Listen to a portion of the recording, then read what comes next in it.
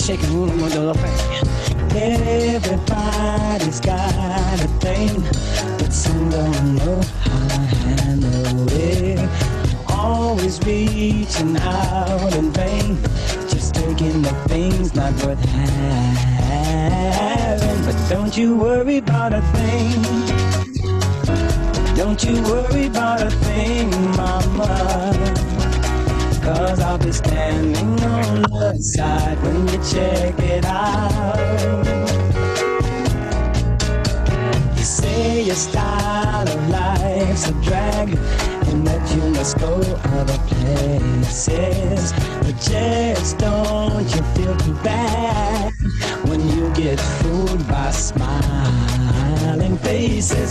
you worry about a thing.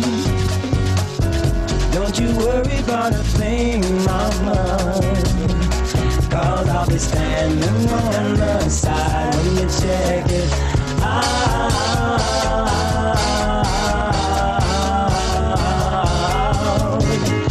When you get off your chair, don't you worry about a thing.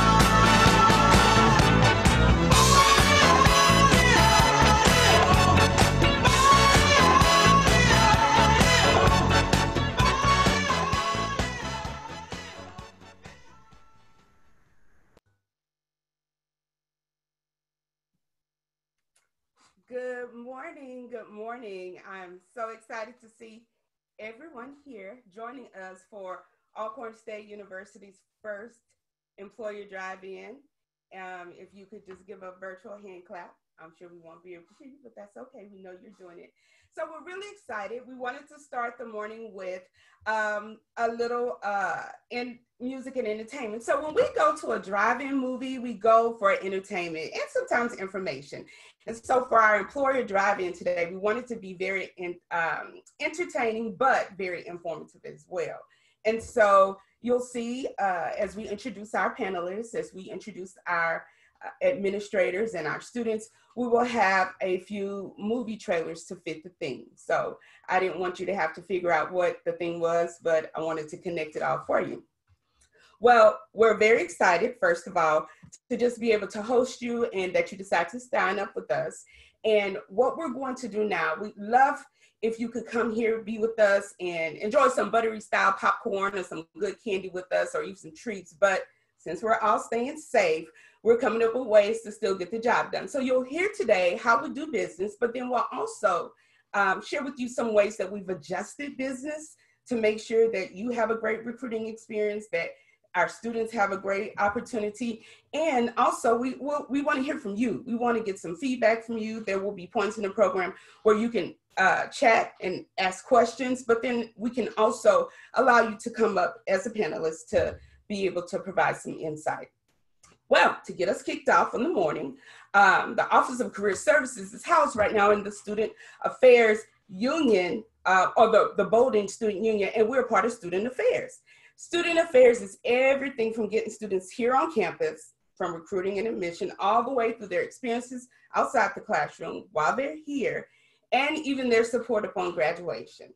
So to kick off the morning and to share with you some insight about student affairs, I would like to introduce you to the leader of several divisions, including career services, Dr. Tracy Cook. But first, before you hear from Dr. Tracy Cook, we're going to see uh, and learn just a little bit about Dr. Cook from his promo video.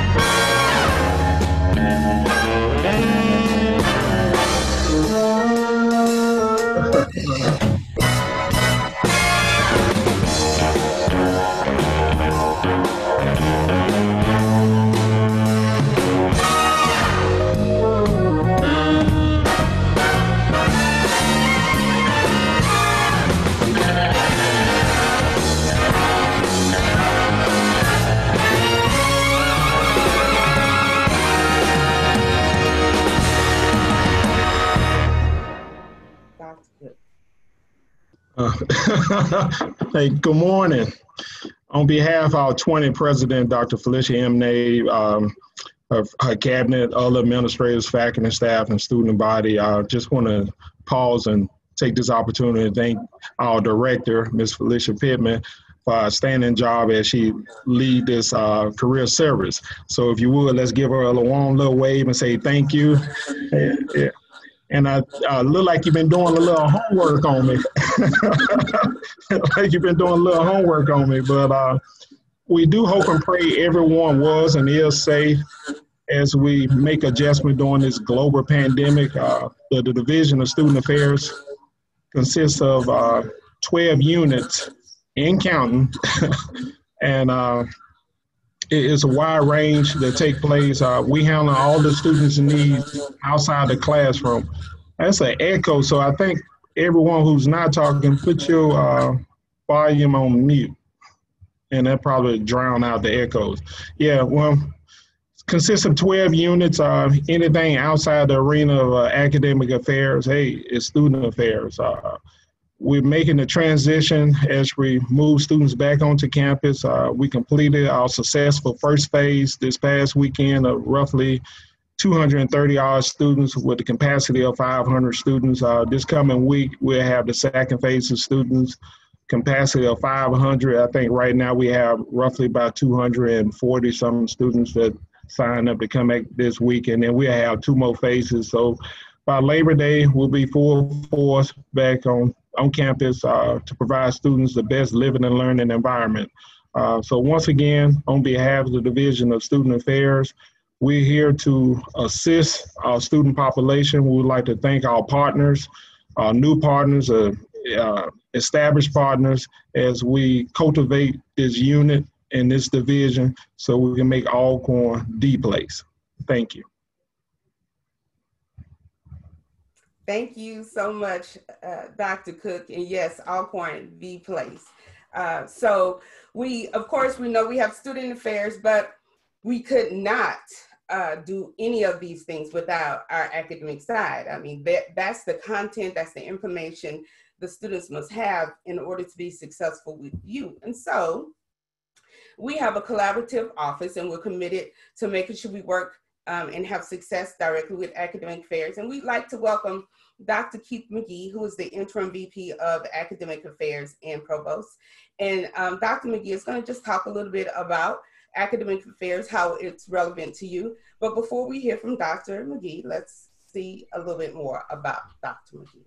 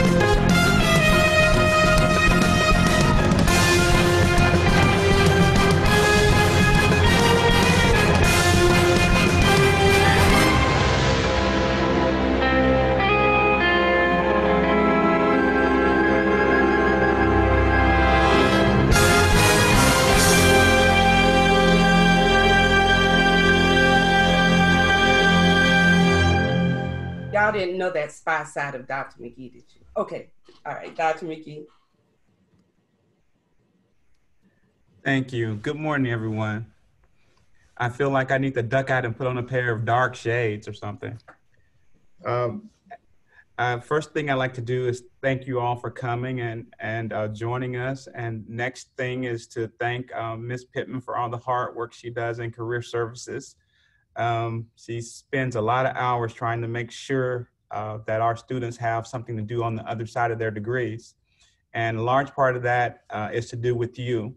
What, what our role is in that equation is to put together uh, me, my office, along with the deans, uh, and them with their chairs, is to put together academic programs that make our students attractive to you so that they can um, they can contribute in whatever workforces um, that you um, you offer them.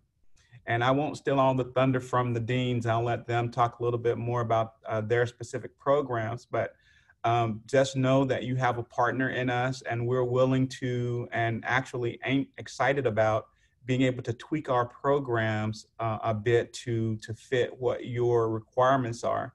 We know that you program out your um, your industries into the future, and we're willing to work along with you to make sure that our programs coincide with those. So again, thank you for your partnership, especially in these really difficult days in helping to make sure that our students uh, get out of their educational experience something that aligns with you on the other side. Uh, so thanks again. Um, I'll look forward to working with you. Thank you so much, uh, Dr. McGee. Uh, we appreciate that and the information you gave us. And like you said, you're going to allow the academic academic deans to come and to share information. Uh, we have five academic deans, and we're going to share with you a little bit about them. We know that every day is not a fairy tale in the land of academics and university life, but we uh, we do feel like they are heroes in our book. So uh, let's share a little bit about our fairy tale deals.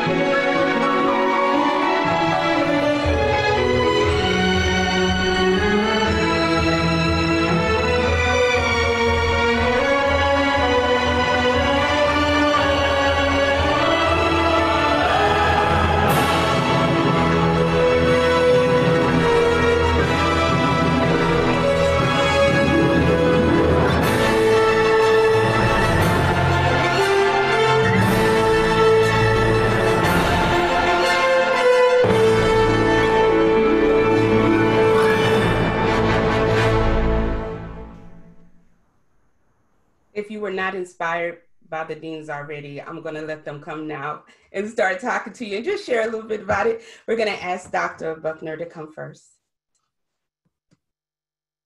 Good morning, everybody. Um, I tell you, I'm still thinking about that uh, movie trailer I just saw. It made us look really good. Uh, here in the School of Agriculture and Applied Sciences, during a, non-COVID year, got over 725 undergraduate students uh, and 163 graduate students. Uh, our student to faculty ratio is 17 to 1. We've got six graduate programs, um, and 90% of our students work beyond the classroom.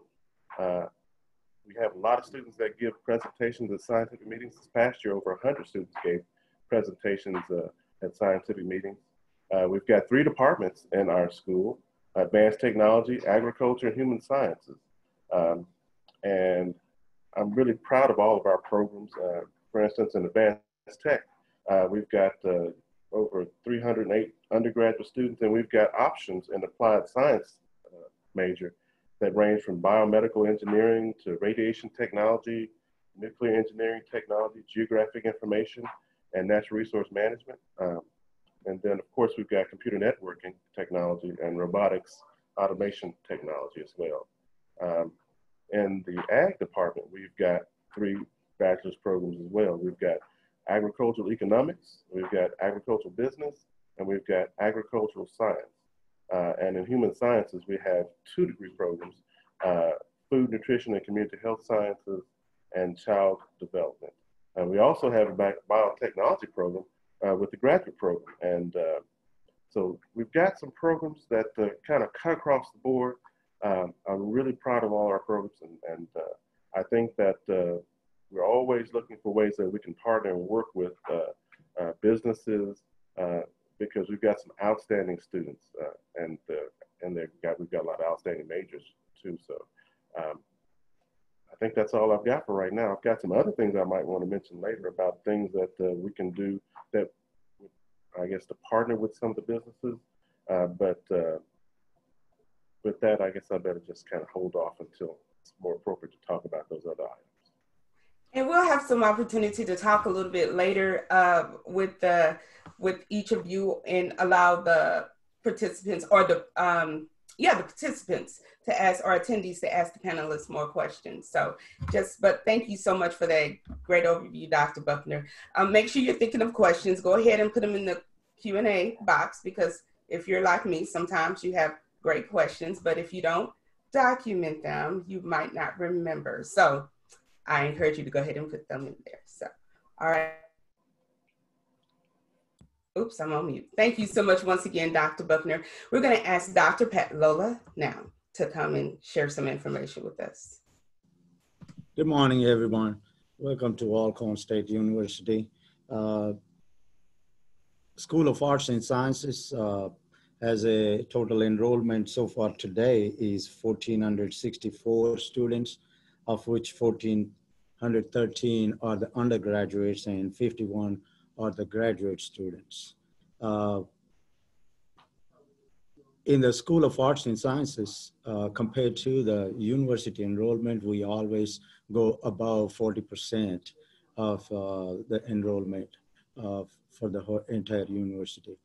Uh, in terms of faculty, we have uh, dynamic and diverse uh, 80, close to 80 faculty, full-time faculty in the department, in each departments. and we have total of eight departments uh, in the School of Arts and Sciences. Uh, that is uh, Department of Biological Sciences, Department of Chemistry and Physics, Department of English, Languages and Mass Communications, Department of Fine Arts, we have Department of Math and Computer Sciences, we have Department of Military Sciences, Department of Social Sciences, and Department of Social Work. Uh, in the Department of Biology, uh, we have uh, BS in Biological Sciences, uh, BS in Biology Education. Uh, we have master program in there, Masters in Biology, uh, Masters in Biology Education, as well as recently, about five years ago, we have made a complete online Masters in Biology. whereas in chemistry, we have only one major, that is a BS in Chemistry. However, they have concentrations in there. Uh, in the Department of English Languages and Mass Communications, we have uh, BA English and BA Literature. Uh, and in the mass communication, we have BA Mass Communications. And in English, we also have uh, BA in English Education and MA in English Education. And recently, we have, uh, three years ago, we have uh, developed a program, master program we call Master of Liberal Arts uh, so in the Department of English Languages and Mass Communication, we have Master of Liberal Arts in English, uh, Master of Liberal Arts in Mass Communication. Uh, next in the Department of Fine Arts, we have Bachelor of Music, which is called BM, uh, Bachelor of Arts in Music, BA. Uh, also MS in Secondary Education Music Endorsement, Master of Liberal Arts in Music also in there. And in the Department of Math and Computer Sciences, we have uh, BS in Mathematics, BS in Computer Science, uh, BS in Math Education. Uh, we have two master programs. One is MS in Math Education and MS in Computer Sciences. In the social science, we have BA Social Science and BA Sociology. Uh, we have MA uh, and BA in History. Uh, we have BA in Criminal Justice. BA in political science, and again in MLA core MLA, uh, that is Master of Liberal Arts in Criminal Justice, History, and Political Sciences. Uh, in the Department of Social Work, we have Bachelor of Social Work. Uh, in the Department of uh, Military Sciences, we do not have a degree program in there. Now, these departments uh, uh, prepare the students for their um, uh, further education. And in the School of Arts and Sciences, we also have um, Associate Dean, Dr. Renata Murray, who looks over the MLA program as well as the art side. I'll let Dr. Murray talk a little on this. Dr. Murray, are you in there? I am. Good morning, everyone. Uh, just to kind of piggyback off of what the dean said, uh, we have a very diverse we have a very diverse department. Uh, we kind of a lot of good things going on in the School of Arts and Science, and I just want to say briefly that our students are prepared to teach. Our students are prepared to go to graduate school, and most importantly, we have some very good employable students. So I'll be available for any question that you may have, and I'll just turn it back over to the dean. Thank you, Dr. Pat. Yes, sir. Uh, you know, in the sciences, uh, we have a lot of students going on internships uh, and as well as presenting at a uh, lot of national and uh, international as well as statewide conferences. And we have a lot of awards. The School of Arts and Sciences is not only academic side, but in the other activities, we have the band is under our school. Uh, the radio station is under our school. Uh, and uh, we also have math center and a writing center, which uh, services all the university as well as even the surrounding areas. And uh, we have departments uh, in the sciences. Uh, we bring in the uh, students from the school uh, school districts uh, for Science Academy. Uh, they have Saturday Science Academy that is still running. and also we invite some of the students from the middle school. you can go to the website where under School of Arts and Sciences, you can see the some of the pictures in there as well as our brochure in there. Uh, we also maintain what we call the Campus Chronicle, uh, which comes in every week, and also the news uh, radio in there, which is actually done by our students of mass communications. Thank you very much. Thank you so much, Dr. Patlolla and Dr. Murray. That was um, very good information. There, it's it's always good to hear sometimes and be reminded all the different majors and the diverse opportunities our students have. We get an opportunity a lot of times on campus to see or to hear the great things they're doing. We get to hear the band. We get to see um, them doing great things in advanced technology. We and, and we just get to see about. It's good for us to share those things with you uh, the employer and the recruiters because you come in sometimes on a, a day or an event and you don't get to really experience the full uh, essence of Alcorn State University and see the diversity of thought and the diversity of, of actions that the students have and just their many talents. They're involved in so many things on campus. And so uh, we really, I just wanted to jump in since you said that and just share that we have so many talented students and so many talented opportunities for them. And we're really excited to hear even more um, things from our other deans. All right. So now uh, we're going to head to our next dean on the list. Uh, once I find my notes and remember what who that was. That next dean on the list is Dr. Williams in the School of Business. Would you come over, Dr. Williams? Good morning, everyone. Good morning. I'm so happy to be here, and I certainly want to commend the Office of Career Services for those dynamic videos that you put together. And so now we know why you wanted our pictures. Um, the School of Business is offers uh, two bachelor's degrees, a bachelor degree in accounting and a bachelor degree in business administration with uh, seven concentrations, accounting, data analytics, entrepreneurship, finance, human resource management, marketing, and supply chain management. We also have an MBA program, um, a Master in Business Administration. Uh, right now, we have about a total of 375 students, including 60 uh, MBA students. And uh, we are so proud of um, the department because our students are always have many, many opportunities, and we thank our employers for allowing them to intern at their companies. And this past summer, I just want to say that we had students that were at the Bank of America, New York, JP Morgan Chase, New York, Deloitte, Dallas, Texas, Ernst & Young, Philadelphia, Pennsylvania, Anchor Management Consultants in Basking Ridge, New Jersey. Um, even though these offers were made to these students in February, so there were plans for them to be in person. But because of the pandemic, they still had um, virtual jobs.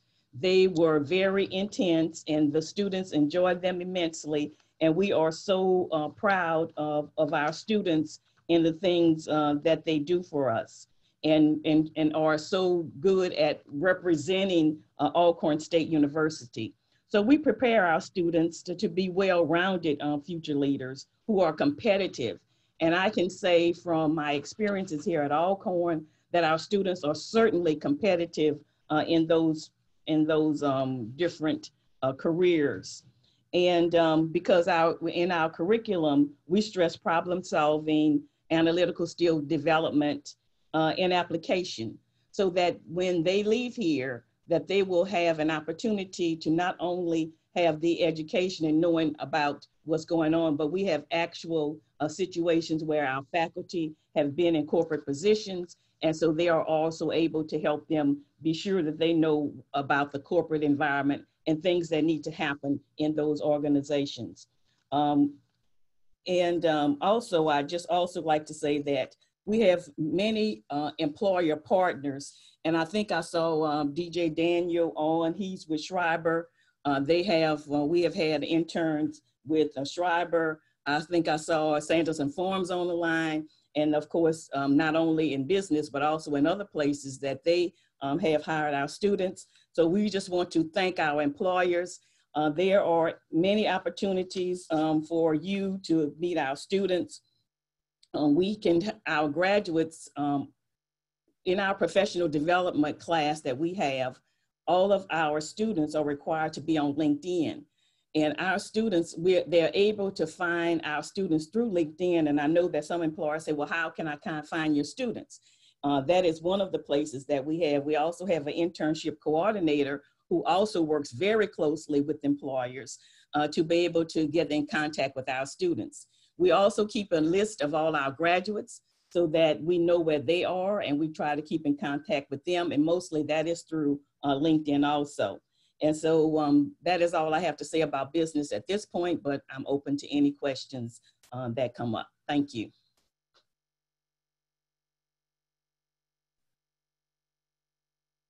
Thank you, Dr. Williams. That's uh, really, and I think you brought up a really, really good point. We know that for those businesses that were able to, um, that were not strongly at or adversely affected by the pandemic, we appreciate how they were able to keep our students on and allow them to do virtual internships.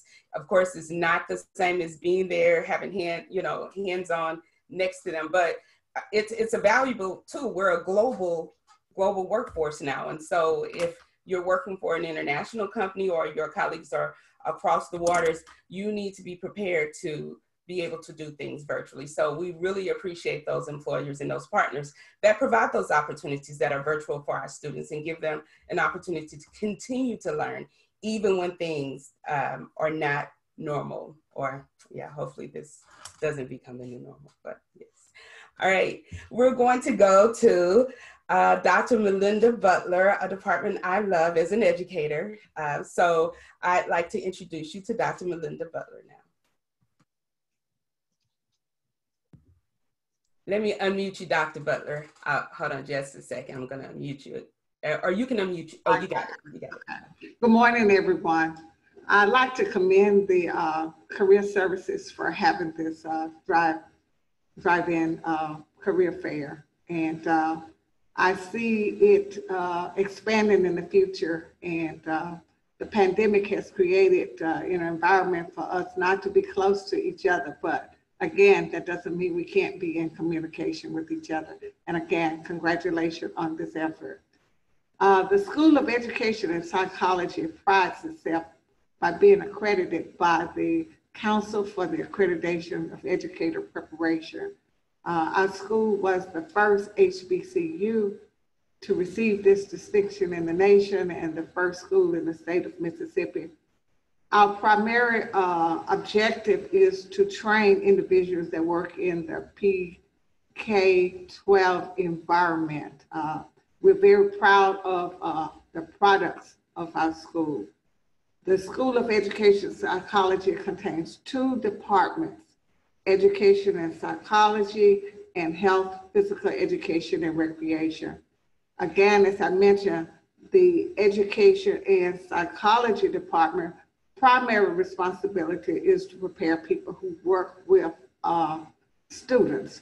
Uh, the, uh, we work under the auspices of the Mississippi Department of Education, so there are requirements uh, through that organization that ensure that our candidates are of the higher esteem. Uh, in our Health, Physical Education, and Recreation Department, we have a degree called sports management, and we also have recreation. These majors train individuals for administration, finance, law, and ethics in sports.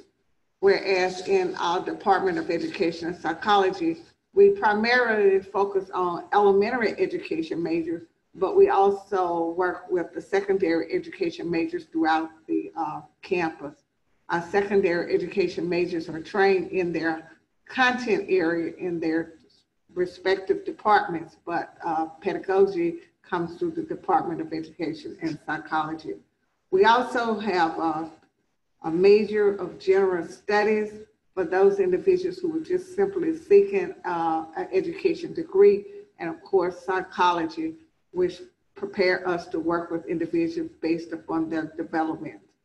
Um, we also have a master's degree programs in teachers education, and we also offer the Masters of Arts in Teaching, which is an alternate certification program. So those individuals who have had careers outside of teaching education and want to come back to uh, teaching can actually earn degrees and go into the K-12. We are proud of our counseling program. We have two tracks of counseling program.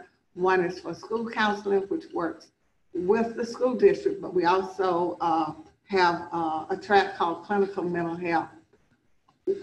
Our graduates all are have uh, the uh, can go out into the school and practice what is taught in the school. So all of them have practical experience or clinical experience in their area, and this is what we make we believe make them stronger.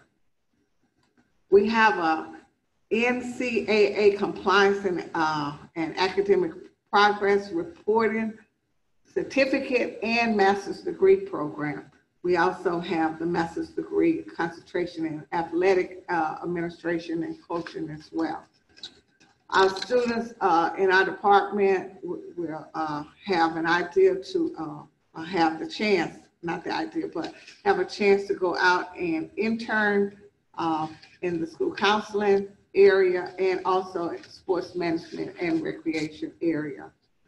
One of the pride of our school is the fact that we uh, get the chance to engage with our partner schools. So we go out into our partner schools and we have uh, service projects, uh, assist them with uh, projects that they have as well, participate in things like uh, the reading fair, their science fair. Uh, we also participate in professional organizations. Our students have received many awards for their participation with uh, our professional organizations such as Mississippi uh, Professional Educators. Uh, they attend workshops. Uh, our graduates are usually uh, Teacher of the Year, uh, Administrators of the Year. we get our graduates, we get uh,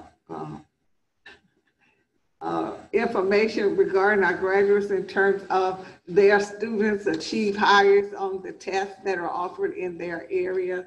So we are very proud of them. At this time, we have uh, approximately 823 HPER students enrolled in the program and probably about 1,224 uh, teacher, uh, education from the Department of Education and Psychology. Uh, we are open to any other questions that you have. Uh, we also uh, have uh, students who go out and come back and offer opportunities for students who are enrolled in the program as well. So there's a strong alumni connection for us in the, the, School of Education Psychology. Thank you. Thank you. Thank you so much. I um, I actually, Dr. Butler, I see, I think it's Dr. LaKeshia Myers, who's the Office of, of Wisconsin State Representative. She's also an Alcorn alum and a, and, and a former educator as well. I feel like once an educator, always an educator, but you know, she's serving in politics as well. So you do, you're right. You have graduates that go on and they continue to do amazing things. So thank you for sharing that with us. And last but not least, in terms of the presentations from the deans, and of course, remember if you have questions, please put them in the chat because we will have, they will have an opportunity to answer them in just a few minutes. Um, we will have Dr. Evers Manley. Well, good morning and welcome to Alcorn State University School of Nursing. I also want to thank Ms. Pittman for the wonderful um, movies and vignettes that she's put put together. I love narrative and I love narrative in the form of movies. So we'll have to talk about that. But again, welcome to the School of Nursing. The school offers outstanding educational programs desi designed to meet the diverse lifestyles and demands of today's student and especially for adult learners. We have four distinguished nursing programs to study, leading to an Associate of Science in Nursing, Bachelor's of Science of Nursing, Master's of Science of Nursing, and Doctor of Nursing Practice. The Doctor of Nursing Practice is a degree in the United States, um, one of two doctorate degrees, the other being the PhD.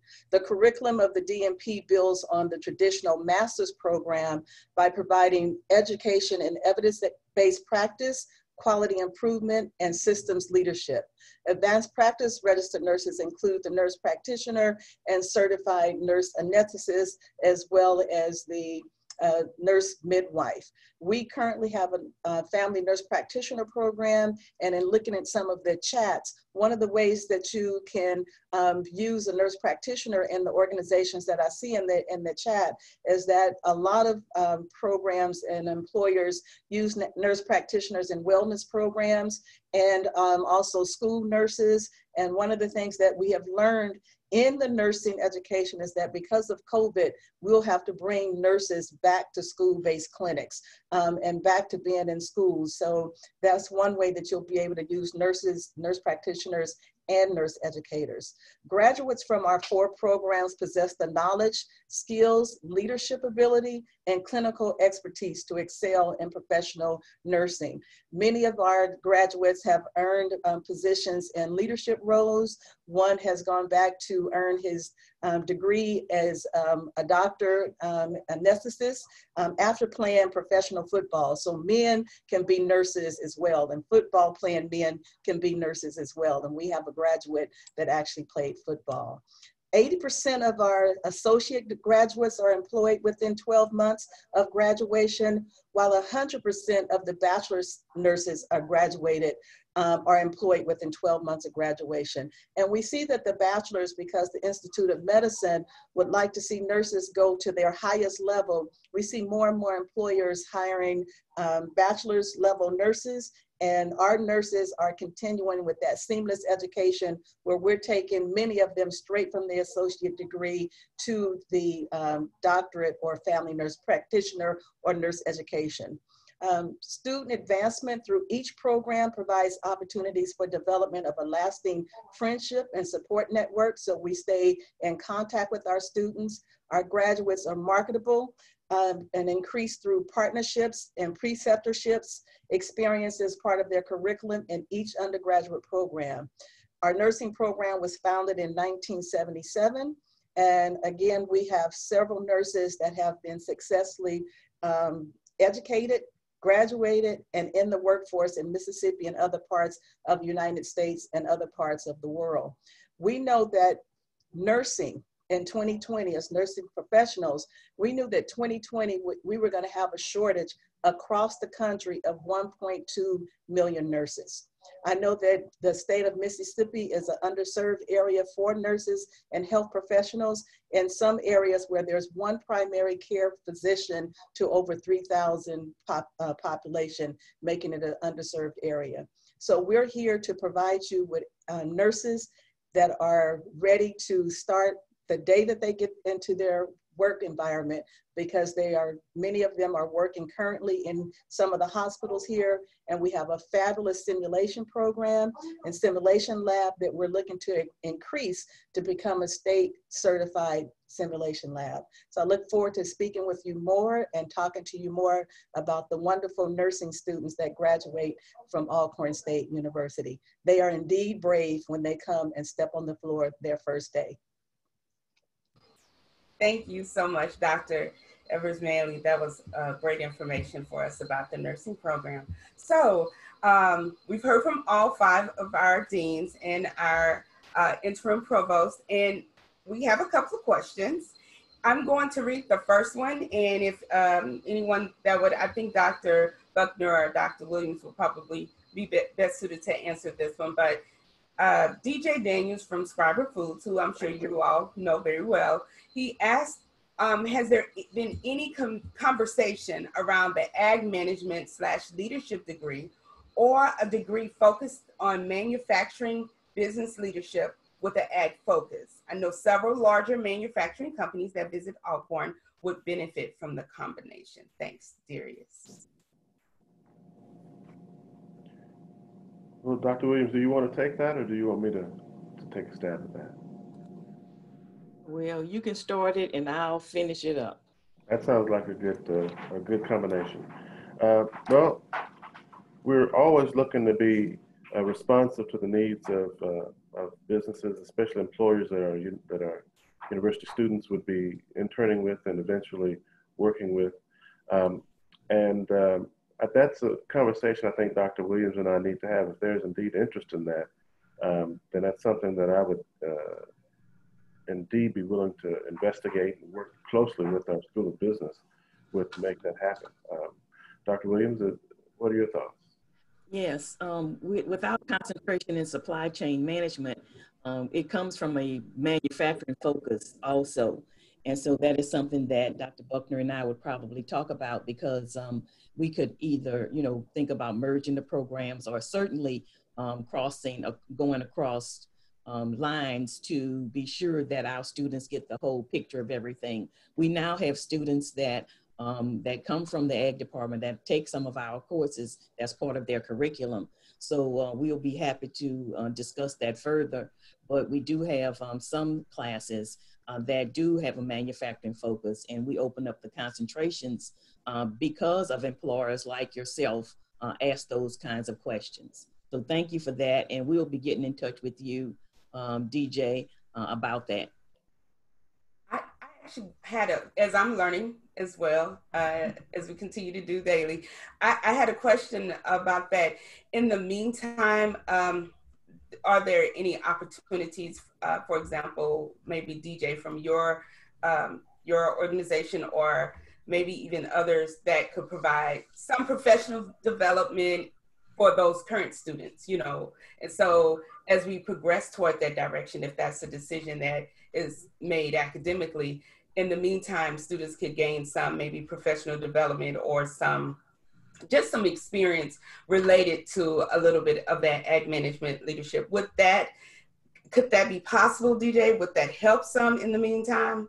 That's I guess that's a question that I would ask him and ask you all.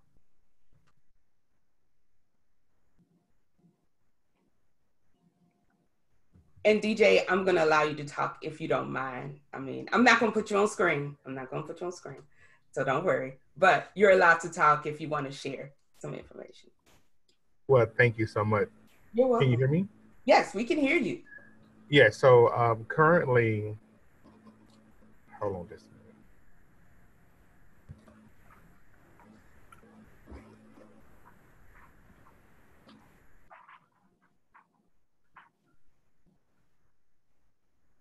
And we can hear. Oh, okay, we can hear you now. Yeah, so I can hear myself. Oh, okay. So I'm going We to talk hear- slowly. Okay. okay. You don't hear the echo, which is good. So Dr. Williams knows this, but we have been to the university many times in the last several years. And what we hire for are leadership positions in our US manufacturing. And what we have seen is that because the schoolwork is not concentrated in a man- manufacturing setting, when we get to the interview process, the Alcorn students um, don't have as much to pull from. I got you. So you're saying that the manu so okay, and so what I was speaking of in terms of manufacturing, uh, professional development, that may not provide enough uh, uh, relevant experience to give them what they need uh, for that. So that's definitely something something that we can continue to have conversations on from that point of view as we move toward um, that direction. If that's that's what we decide to do, but we really really appreciate that that feedback from you. And that is also the reason why we created this supply chain management concentration is because we do have um, organizations such as Schreiber Foods and others, um, Sanderson Farms, same those all of those people, or some of them are manufacturing organizations that we have contact with, and they are in, they- want our students to know about supply chain and all of the things that go along with that, which is from a manufacturing focus. And so, um, along with, I am going to be sure that Dr. Buckner and I get together very soon so that we can cross, you know, um, go across those department lines to be sure that we are doing what we need to do to be sure our students get everything they knew, need um, for these uh, manufacturing corporations uh, that come to us, you know, Nissan, all of those places, the car dealership, not dealerships, but the car factories, they're also manufacturing. They want those kinds of things also. And so um, we will be um, getting together uh, with the uh, agriculture department to be sure that we can uh, see what we can do as far as being sure that we have students who are interested in those fields or even they may try to you know want to be interested in them if they knew what we were exactly doing that they will come across and do those things and be ready uh, to go to those positions that are available to them in the corporate environment That's really good. And, and even in the interim, like um, I always try to think of what we can do on the way there. Um, ha- those students getting the opportunity to have those internship experiences, uh, shadowing experiences, mentors in the field. Um, it's not exactly the same, but we do know that uh, and we know that some people don't interview well too, you know, even if they were in the classroom where they learned and they knew the information, but just being there where people can see their work ethic, understand what they understand, and just really have that connection and partnership in the interim could provide a solution to some of that for some of the students. So um, one of the things that I, I've, I've said since I've gotten there that I love about Alcorn students is that their willingness to learn. If they don't know it, they haven't been exposed to it, they are not resistant to learning or um, really, and, and I've come in contact with several students who knew so much already that when you tried to tell them something, they would not respond. But so far, the students that I've come in contact with, and it's been quite a few, if you uh, were able to bring them in on an internship opportunity and have some coaching involved, then that could be some opportunities for growth. But we're definitely content. Well, they'll continue that academic part, and I'll just join in where I can. So, thank you so much. And, and let me just add that, you know, here at Alcorn, we, uh, we focus on helping the students learn by doing. Experiential learning, you know, is, is a really good way for students to learn. And so, in a very narrowly focused area in ag, we're uh, renovating a poultry uh, production facility here on campus. You know, it's not, we're in the beginning phases of that. We're also uh, renovating a production house for poultry. So in the context of poultry, we're looking at things like uh, manufacturing and, and I guess value added and production. But, you know, here again, we're, we're, we're gearing up. And so that's also one area that we'll be working closely with business and to, to kind of augment those, those things. But it's kind of narrow, but those lessons can be transferred to other fields as well. That sounds good. That sounds good.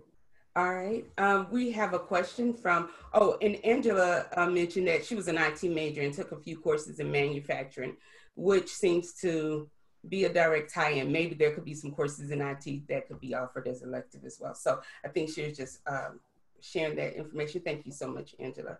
Bobby Smith is going, he has a question as well, and he's going to ask that question. Thanks, Ms. Pittman. First of all, I'd, I'd, like to just say thanks for this unique way to connect with everyone there at Alcorn University. I'm Bobby Smith. I'm a district business manager for Pfizer Pharmaceuticals. We're headquartered out of New York City, uh, but we are a global company. We're one of the largest uh, healthcare companies in the, in the world. And what we look for when we come to campus are, are graduating students, and we generally focus in the areas of business uh, and science. And um, sometimes we actually do get nurses who decided they've gone through their nursing uh, curriculum and, and, don't actually enjoy the patient contact as much as they thought they would. So sometimes we, we get students from there as well. But my question was, is, is do any of you ever bring in guest speakers from um, employers to come in and speak? One of the things I found on many of the campuses I go to is there's just not a real in-depth knowledge of um, what a professional sales rep does in the pharmaceutical world or medical device world. And it really helps for us to come into campus and, and speak with the students and, and kind of give 30 minutes of, of sharing about us and 30 minutes of what's burning on your mind. And inevitably that ends up to at least 15 minutes of discussing um, interview uh, tips and techniques. So that was really my question is, is do you ever bring anybody in to come in and speak with the students just to, to touch on some of those different employers and the careers that they're looking for? Thank you for your time. Thank you, Bobby. Hmm. I'll let the dean talk, uh, answer first, and then I'll I'll jump in. Okay, this is Donna Williams, School of Business. Uh, I answered your question in the chat that uh, the School of Business has a speaker series uh, where we have alumni come in and corporate partners come in uh, to speak to our students. And um, we do that, you know, every semester. We try to get at least one or two every semester to come in talk, and talk and speak with our students. So we're certainly interested if that is something that Pfizer would like to do. Um, uh, I'm sure you can get with uh, Ms. Pittman. She'll be very uh, happy to help you because also, um, and I'm sure she'll tell you this, that she gets a lot of corporate uh, partners that come in because they want to come to speak to our students and they have brought them over to our departments. So yes, we do. We have a speaker series uh, in our in the business scope. Oh, fantastic. Hello, and this is Dr. Evers Manley, and we would um, love for you to come and speak to our nurses about the work that Pfizer is doing and how our nurses can be a part of your uh, mission. I know that um, we work very closely with Pfizer, with the National Black Nurses Association, and some of the health disparities um, research and work that you're doing. So it would be a wonderful opportunity for our Doctor of Nursing practice students, and again, for any of the nurses that may be interested in doing um, sales or education to other nurses about your pharmaceutical products. Great, thank you.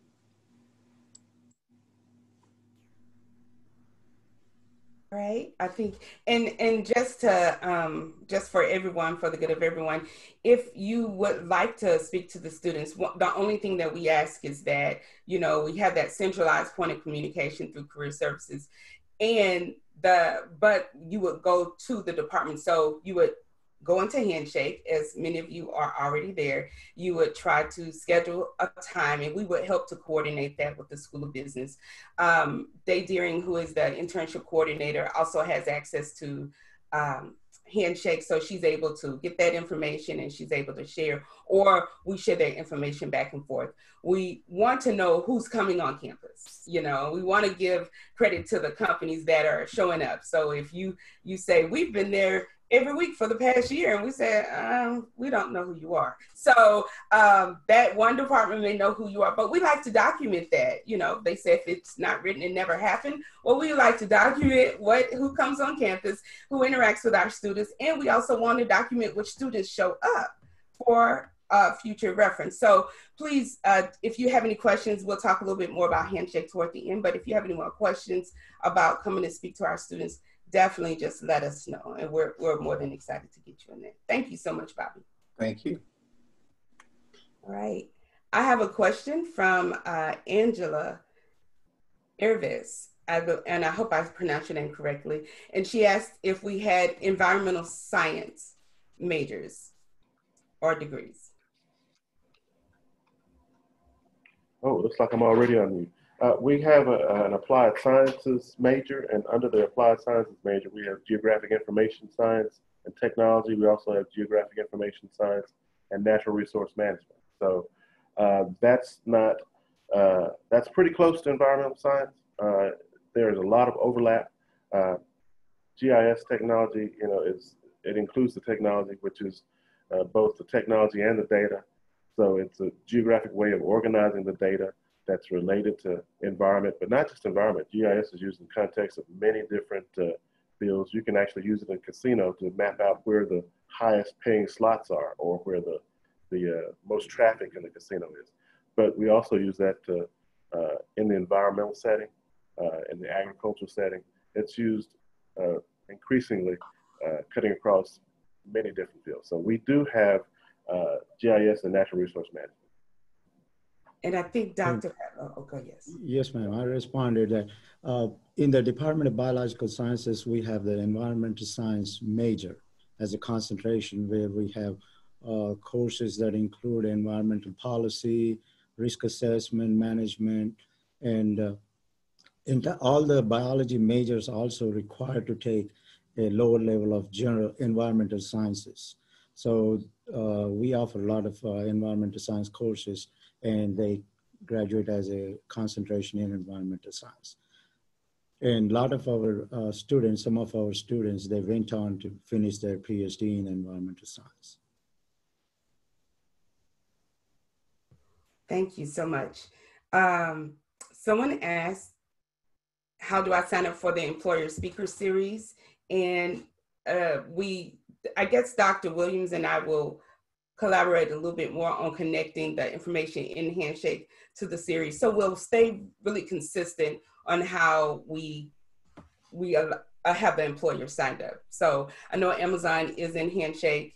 Um, I think every, almost everyone I see on the list is in Handshake, and that way it'll make it easier. And you can actually reach out directly to Dr. Williams through Handshake as well. Okay, does that answer? Is that okay with you, Dr. Williams?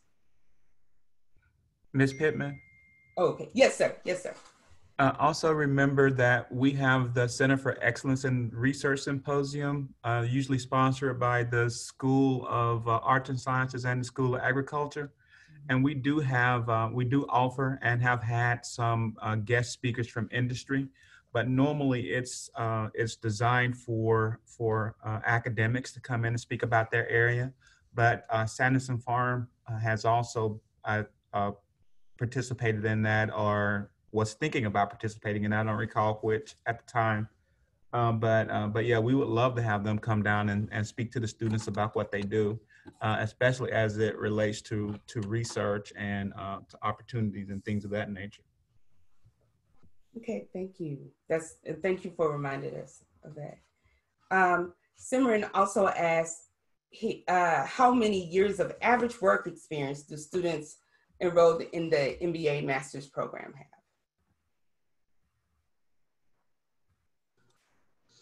Uh, we have many students that come into our program right out of undergraduate school, but normally um, for the ones that do not when come in, they come to us from a different perspective, they normally have an average of at least five years of work experience. Thank you, thank you so much. Uh, Juan Juan Knight uh, asked, while on the subject, what will campus visits look like in the context of COVID? So I will say, uh, right now we'll do things like we're doing now. This is from the career services point of view, where we'll be virtual and we have the opportunity to be interactive uh, virtually. I know many employers have said that they were, are not traveling or they cannot travel, but well, also as the uh, presentation goes along, as the movie, the driving goes along, we'll share some opportunities for you to get in front of students and to really be able to get the engagement that you're looking for. Okay. And I think I will have one more question, or maybe I don't. Not, if I miss your question, please uh, allow me to apologize, and then we'll catch it. Just put it in there again a little bit later. All right.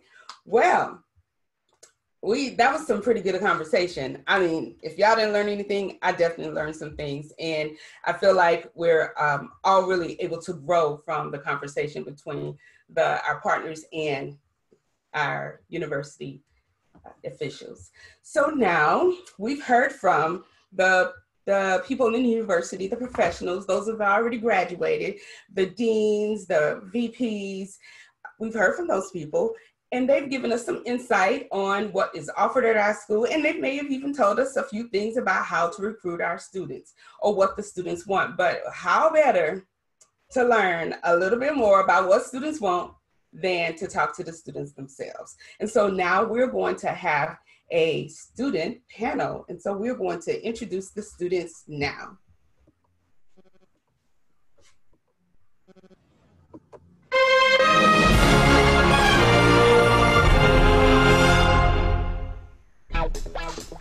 Welcome to the Alcorn State University Career Services Student Panel.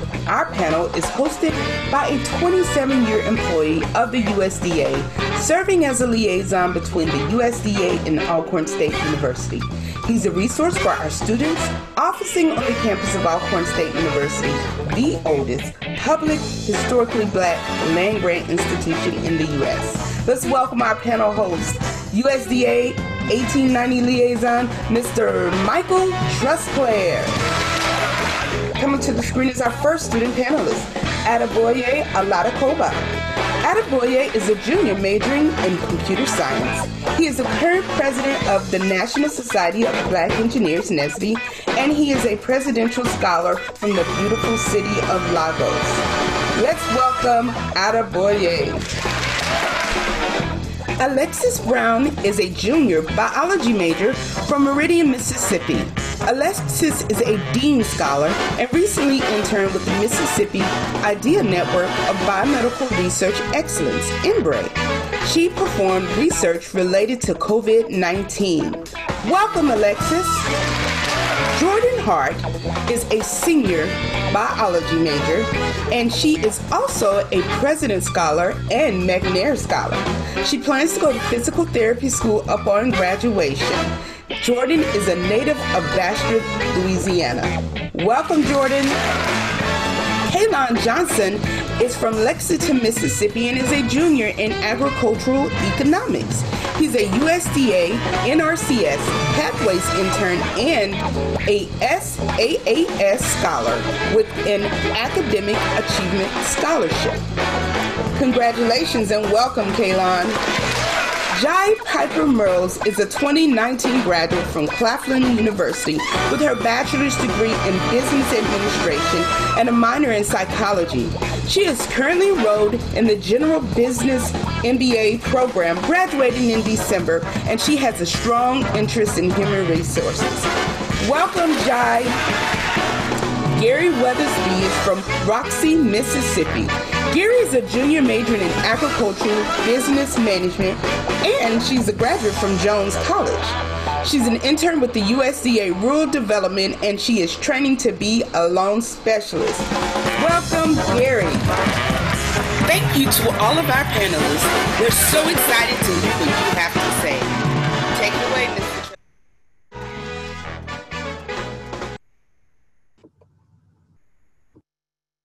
right. Good morning. Good morning. Thank you, Ms. Pittman. And I'm honored to, to serve as host uh, for your panelists, for our students. Uh, thank you for leadership at the university, having the partnership with USDA for so many years. And this has been an honor for me. Thank you. And good morning again to everyone.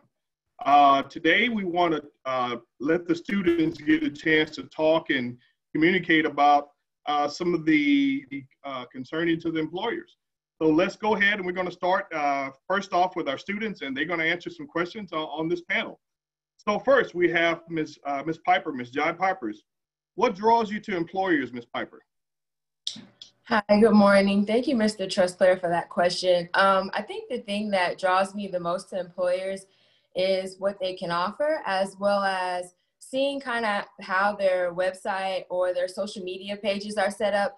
I know a lot of my peers and students like to look at the company's social media pages. That's kind of how we communicate nowadays. So if the employer has an attractive social media page, then that attracts me as well as being able to see people who look like me. I know that a lot of companies are trying to push diversity. So if they have people on the front pages who look like all of us, then that of course is going to attract me more and make me feel welcome and want to work there. All right. Thank you, Ms. Piper. Thanks for a great question and great answer. All right. Uh, next one is how long, how long do you expect to hear back from employers? Ms. Alexis Brown. Thank you for that question. I'm Alexis Brown. Um, I intern with the Mississippi INBRE Outreach Scholars Program. And for me, I would say as soon as possible. You know, of course, I'm anxious. I filled out the application, and you know, I'm sure you all are anxious to see who's all who y'all, you all picked to be in your program. So just as soon as possible, I would say, as far as for an actual time frame. Uh, I would give like three weeks, three to four weeks, a month or something like that, just depending on when you plan on kicking off your program. All right. Thank you, Mr. Alexis. Great, great answer. All right. Our next question is uh, what's the best way to reach out to our students? Mr. Kalon Johnson, please. Hey, my name is Kalon Johnson. Um, the best way to reach out to us is, of course, uh, first off through uh, email. You know, we have acquainted ourselves with checking out emails daily with school from tasks or whatnot, and um, like the handshake and even social media pages as well that uh, companies may have to reach out to us and get us to see what you offer or whatnot. Thank you. All right. Thank you, Mr. Johnson. Great. More important, start the salary or growth opportunity. Ms. Jerry Weathersby. Good morning. I am Gary Weathersby. Um, in my opinion, for me, it is the growth opportunity before salary. Um, as always, the salary and the money is always going to come behind. So if I have the opportunity opportunity to grow in an agency or company, uh, the salary is always going to follow. So it, for me, it would be my growth opportunity. Thank you. All right, thank you, Ms. Weathersby. Okay, our next question, what are you looking for in company culture, Mr. Dadaboy? Hi, good morning, everyone. Um, thank you so much for the question, Mr. Trusclair. Um, personally, I think what I'm looking for in a company is, uh, you know, growth opportunity. I want to see if there's going to be an opportunity for me to improve as an individual, to learn as well, and also um, how the company culture is. So, would you know, would there be opportunities for me to, you know, move up or you know, learn and be comfortable in what I'm doing? All right, thank you, sir. All right, our next question is what does work-life balance uh, mean to you, uh, Ms. Jordan Hart? I would say for the most part, it's like just not becoming too consumed in your work that you forget to take care of yourself and things that really the salary wouldn't even be able to take care of, like your mental health. Okay. All right. Thank you, Ms. Jordan. All right. We want to share uh, what attracts you to a virtual event. Uh, what the question goes to Miss Alexis Brown. What attracts you to virtual events? Uh, thank you for that question. What attracts me to virtual events would be, um, like Miss Jai said, the attraction, you know, how was it promoted? You know, I'm I'm an energetic person. I'm a full of color of color. I love, you know, it depends on how it was promoted. Was it promoted, you know, to attract someone like me? Like, are you looking for an energetic person? Are you looking for, you know, um, a fast paced, fast moving type of environment? Um, you know, that's just the type of things that attract me. So if that's what you were looking for, then of course. All right, all right. Thank you, Ms. Brown. Okay, Ms. Gary Weathersby, the next question is, what attracts you to view an employer's profile? Thank you. Um, what attracts me mostly to view an, an employer's profile is the way they have it set up. Um, I can pick up Mrs. Lexis and Miss Jai. Uh, the way that their they their profile is set up, the way um that some, something that attracts an intern or a student like me. Um, how is it? What what what can I pick off your profile that I know that is going to interest me in what I'm wanting to pursue my passion or my career in. So it's all about the setup of, of their profile or their agency or their company for me.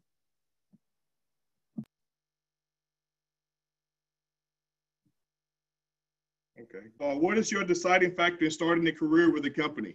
Ms. Piper. Thank you again, Mr. Trusclair. Um, I think the things that are really the deciding factors, like Ms. Jerry stated, the salary is not the biggest thing just because most of us don't have actual work experience outside of internships. But the biggest things nowadays would be the company culture.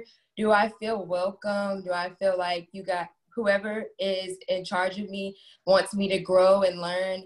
As well as is it a copacetic environment? Um, I think those are the biggest things as far as deciding factors. All right, thank you, Ms. Piper. And one more question, and finally, we're going to ask uh, Mr. Kalon Johnson on your recent internship. Does emails from your employers really work?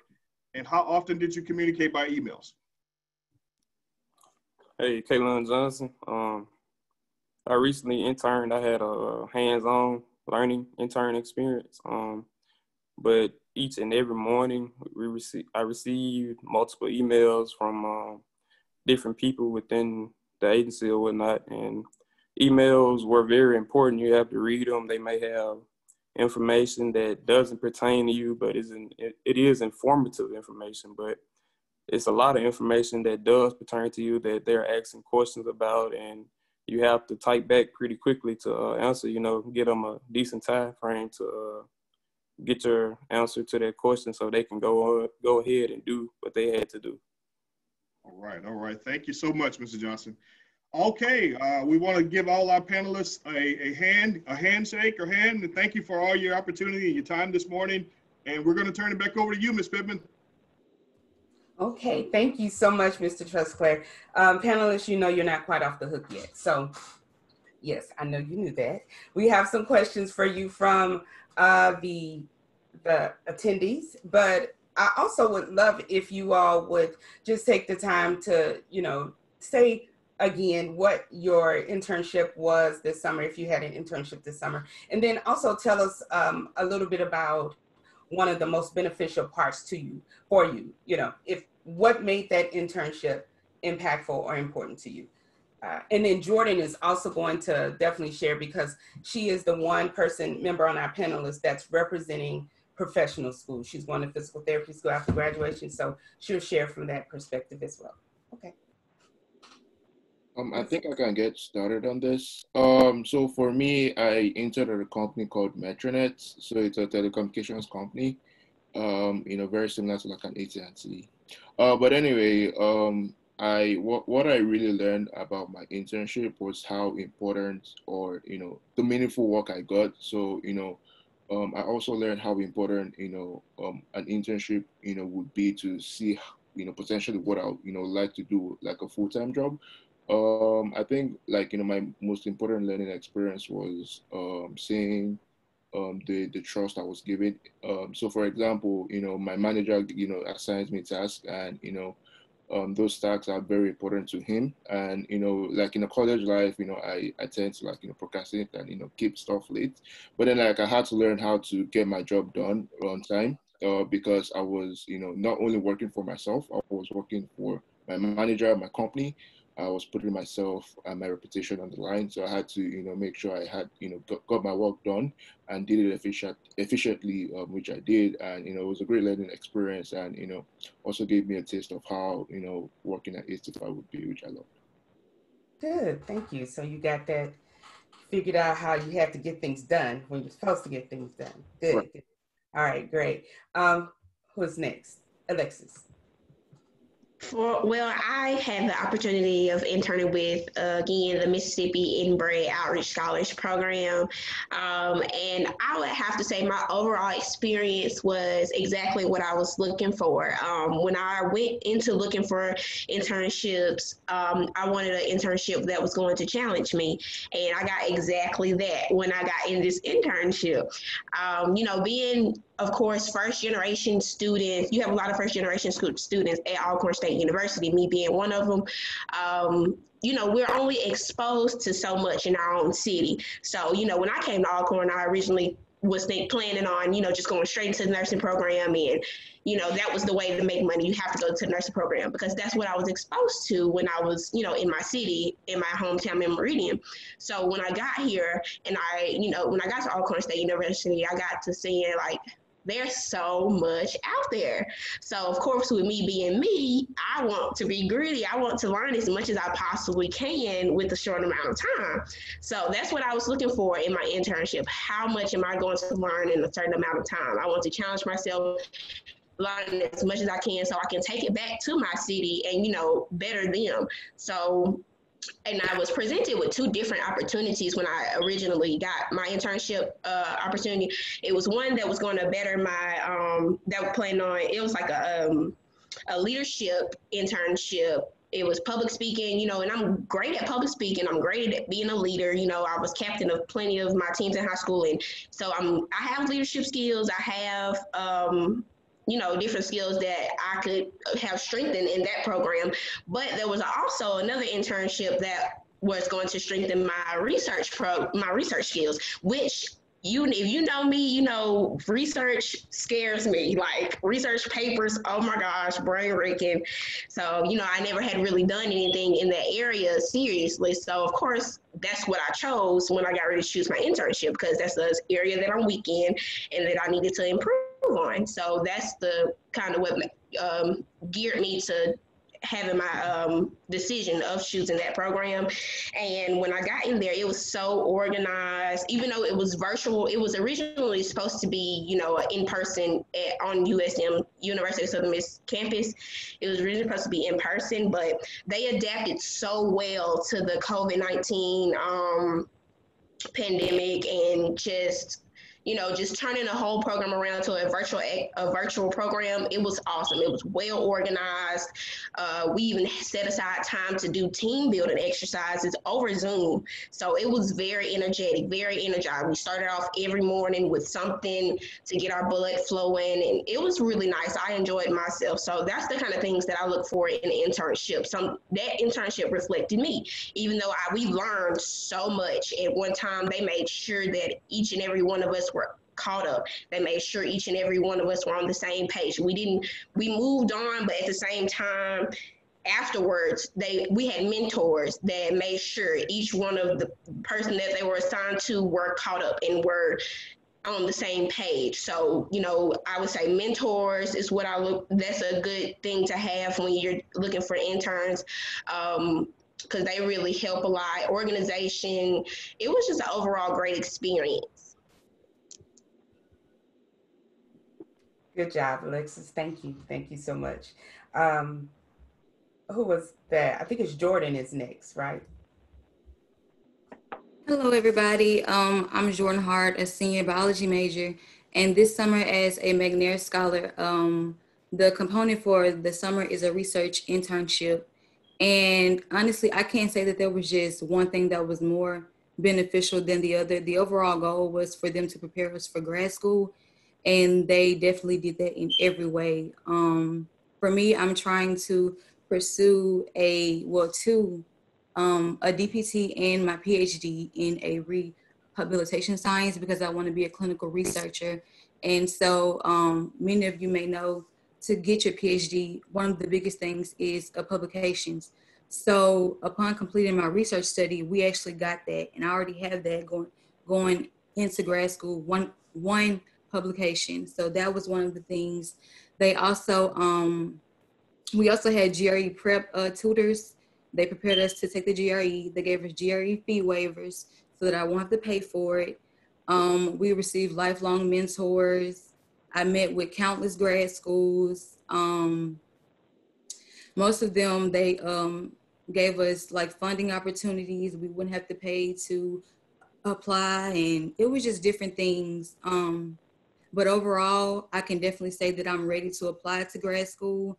And also in the program, we had to take a grad school course, um, EDU 555. And at first, I thought he was going to take it easy on us, but he definitely showed us how grad school works. It was very strenuous. We were reading two books at a time, book reports day after day, discussion board. Like it was a lot, but I can honestly say I didn't come out the same way that I went in, and I'm very thankful for it. Good. That's good to hear, Jordan. That's some very valuable experience. I think we have Kaylon Johnson. Kaylon. Hey, Kaylon Johnson. Um, this summer I had a, a, chance to intern with the USDA NRCS um, in Greenwood, Mississippi this year. And my summer intern, it was uh, hands-on. And as I say, nothing beats hands-on learning. But although some had virtual learning, it's better than nothing, you know. But with my hands-on learning experience, um, it was even though COVID nineteen kind of put back some things, but the the supervisors they were they were eager to help me to learn some some of the things in the agency or whatnot. Um, I got some hands-on learning with uh, some of the mapping systems and some of the things that they had to do or whatnot. Um, very impactful thing with me was that they took me in, you know, like I was one of them. Like I was actually somebody to them or whatnot, you know, and they put pressure on me to kind of like complete tasks that that I needed to complete or whatnot. Um, thank you. Thank you so much, Kaylin. That's that was um, uh, we we've heard you had a great great internship, and we're really proud of you. And Jai Piper Merles, our graduate student on the panel. Yes, ma'am. Thank you, Ms. Mm-hmm. Pittman.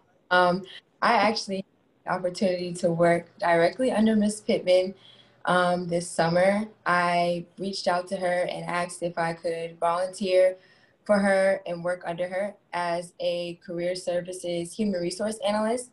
Um, I have a strong desire to go into human resource management. And the thing that I think I learned the most was, as all of my peers have stated, being a professional, you are required to meet deadlines at a certain time period. It's unacceptable to not do so. And as a student, I think sometimes professors give us leeway because they want to work with us. We have lives outside of school. But also, it's very important to emphasize that when you become a professional, that's your job. So that's something that I really learned um, under working for the Career Services Department, as well as recruitment. Um, and I think it was a question about flexibility. I think it's important to um, give students flexible schedules, but as we all stated, putting that pressure on us is just going to help us in the long run to become better professionals in the future. Good. Uh, everyone else is looking at Jad like, oh, so you told him to put the pressure on us? It's almost like the person that raises their hand at the end of class and say, didn't we have homework today? Everybody's really?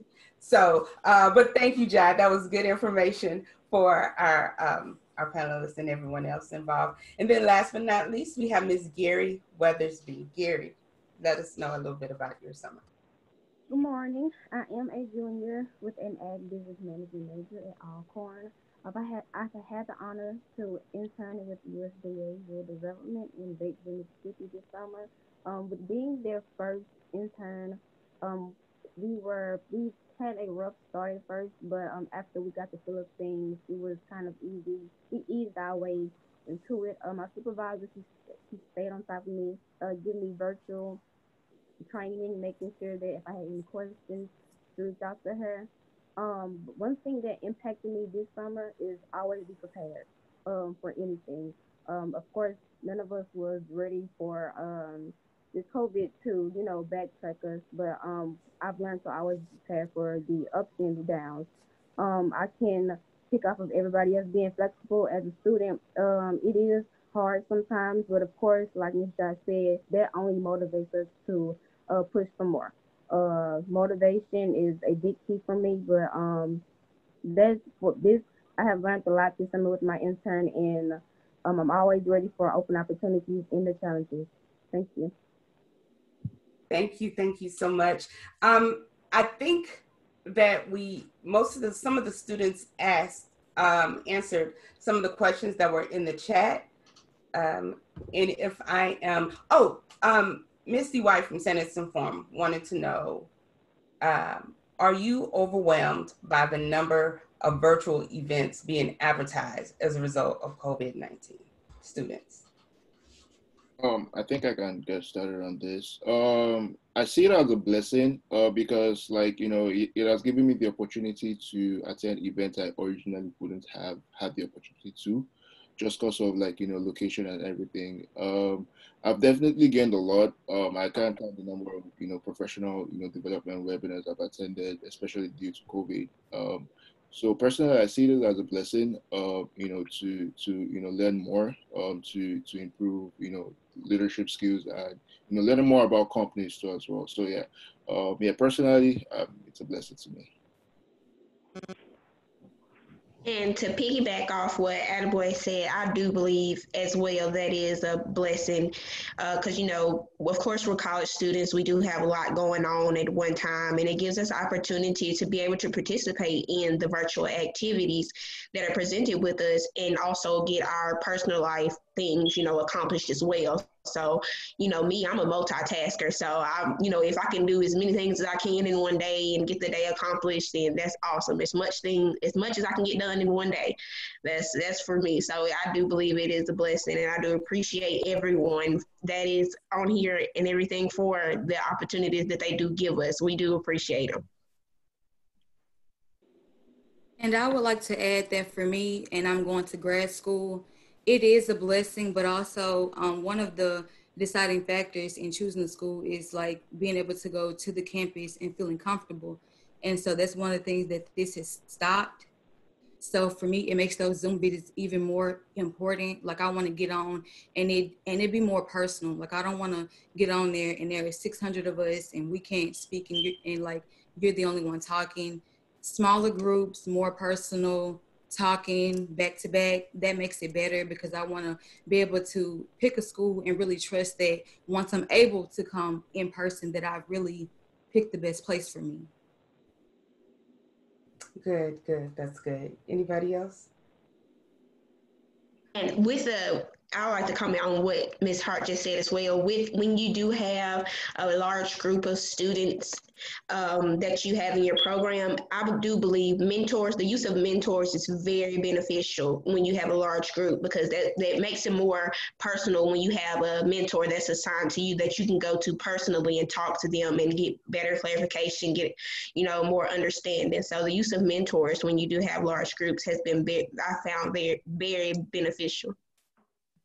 Good. Thank you. Thank you. So I'm going to help y'all out a little bit because uh, these are, of course, some of our top scholars. I mean, these students have, you know, really, really high GPAs. I would say they all have three sevens or above, but then they will be like, but I got a three nine. Why you didn't say that? But I got a four point. So I can't, I won't say that because some of them already started looking at me sideways by not, you know, but they have really high GPAs. They're very studious. They're on top of it you asked about if students get overwhelmed and i will say that our, our middle of the road student that's a, a good performer however they uh, may not be the top scholar they've told me they've gotten overwhelmed um, these we probably got overwhelmed too they just want to sound really good on the uh, call and not uh, make y'all think that they uh, get overwhelmed. But they they have events coming at them all the time, and they're seeing them, and then sometimes they forget and all that kind of good stuff. But um, I, I appreciate them for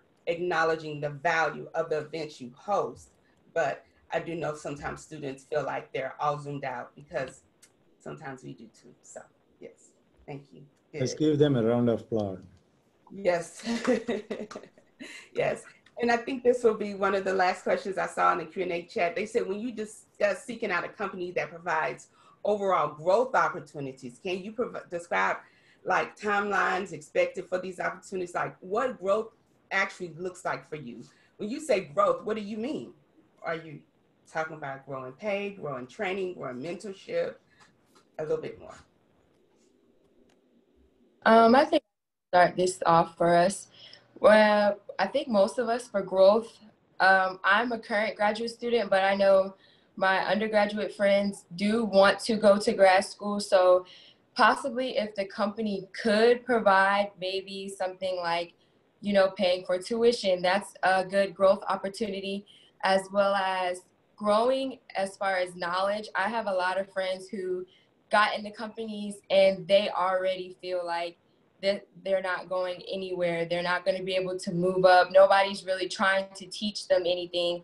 They're just there in their position. So I think, like uh, Alexis stated, having mentors and having people surrounding them that want them to learn and possibly even move into their position one day, you know, being open to teaching people what you already know. I think that's what we mean by growth. I can I can also add to that. Um, actually, in my last internship, um, we we specifically had our Wednesdays for professional development, and that really helped me uh, because you know for example, one of the sessions was like financial learning, you know, another was like, you know, how to, you know, give a good presentation. All these things, you know, definitely help, um, you know, in, you know, making, you know, we students like a better professional in the future. So that's, you know, that's another way to, you know, see like growth opportunities, um, you know, also, you know, learning as a professional and improving as a professional. Good, good. Wow. Well, we're, oh, go ahead. You can no, no. I'm gonna let you close it out really quickly, Miss Alexis. But I'll let you close it out before I close it out. Felicia, go ahead. For for me, growth. I would say I shouldn't be no have the same knowledge in in the program as when I started. I should have been. I should have learned so much more. Just just like you know, I go back into my internship that I was participating in. I, me personally, I can say I have grown so much with the intern that and they make sure of that you know and and like for example the partner that i had she was already you know knowledgeable in this area. She's already used to doing research papers. So this came natural to her. So she i, I wouldn't say she grew as she didn't grow as much as i did because that was something that she was already used to doing. Me but me for me i like I told you, research scared me. So I grew so much. Now I'm more comfortable with, um, like, say, if someone were to present me with a research opportunity right now, I would be way more comfortable with the knowledge that I've learned and grown with over the summer with my internship. So growth for me would be not um, starting out, I mean, not finishing with the same knowledge that I started out with. That's wonderful. Thank you so much, Alexis. And that's really, really good information. I do want to tell the employers and partners that when we uh, complete the session, we will still have the students on the line to ask questions. And then those, um, any of the other uh, panelists that are available still, they can answer some questions to you. So please don't think that we're just cutting off your questions, but we do want to um, kind of stay a little bit on schedule to make sure we respect your time. So um, what we're going to, let's, let's give the panelists a hand, the students a hand.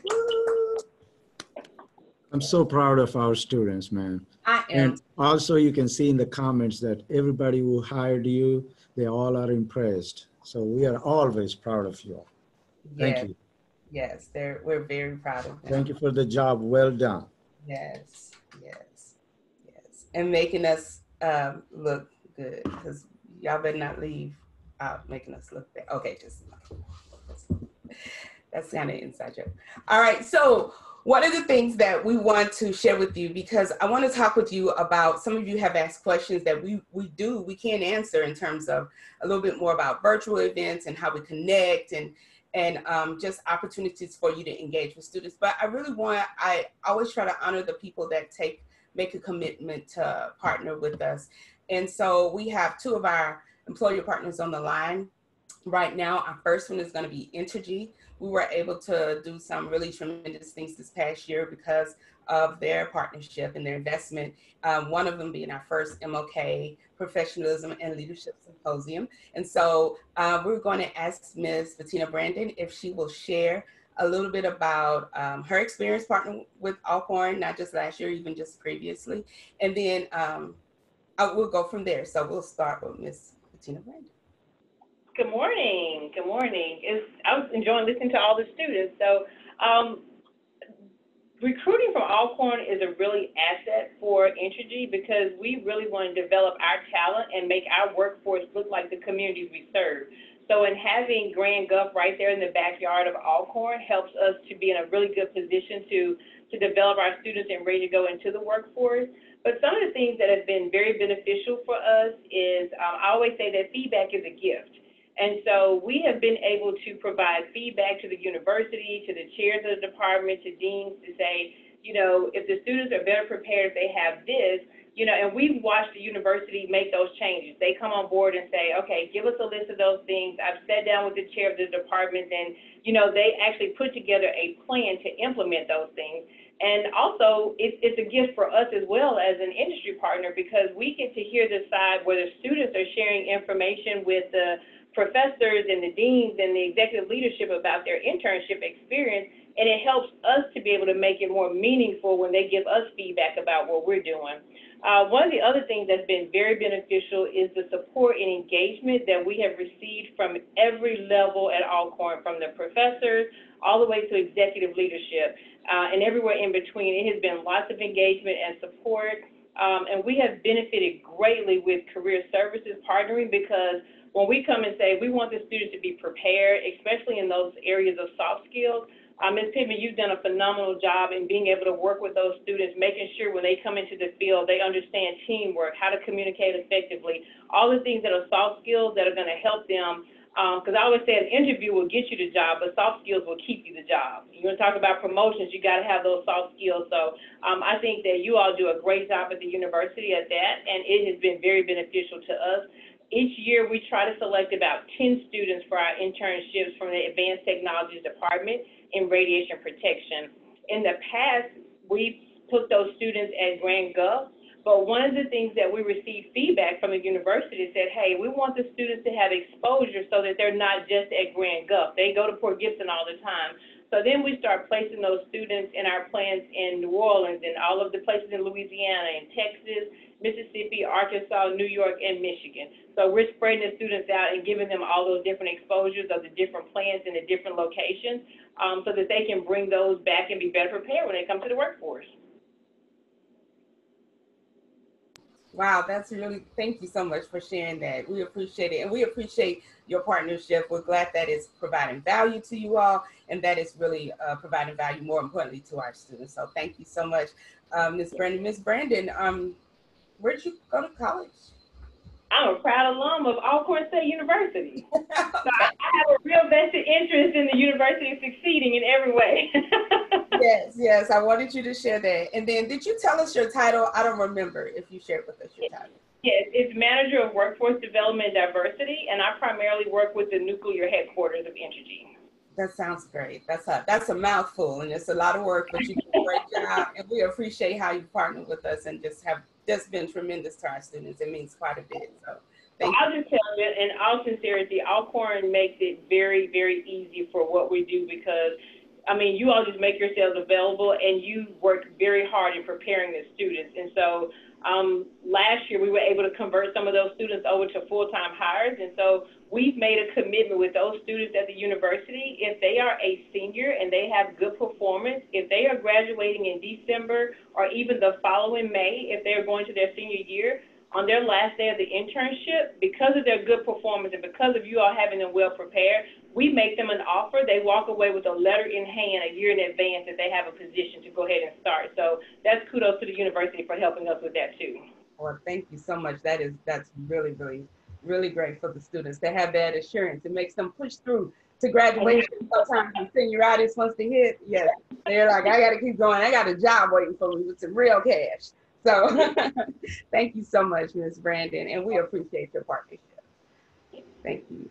And so we um we thank you, Entergy, and now we have uh, Rashad Hart and Kenée Grundy who are on the line from Cargill, and we're going to give them an opportunity at this point to share any um, any information they want to about how how partnering with us has uh, been beneficial.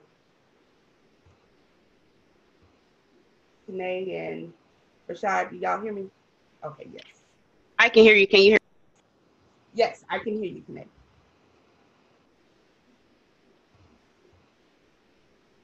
Hello, Kenée, I can I can hear you. We can hear you.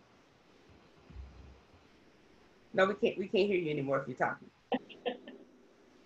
Okay, I think I heard you laugh. Maybe. Say something. Just kidding. All right. We're gonna I'm gonna unmute Rashad if he's trying. I don't know if he's trying or not. But if he can't get on, then I'll go to the next part and we'll come back to them. If you're trying to unmute yourself, I'll stop unmuting you, Rashad, because you may be both doing it. We're both unmuted. We'll try Kenée one more time. Kenée, are you there? All right.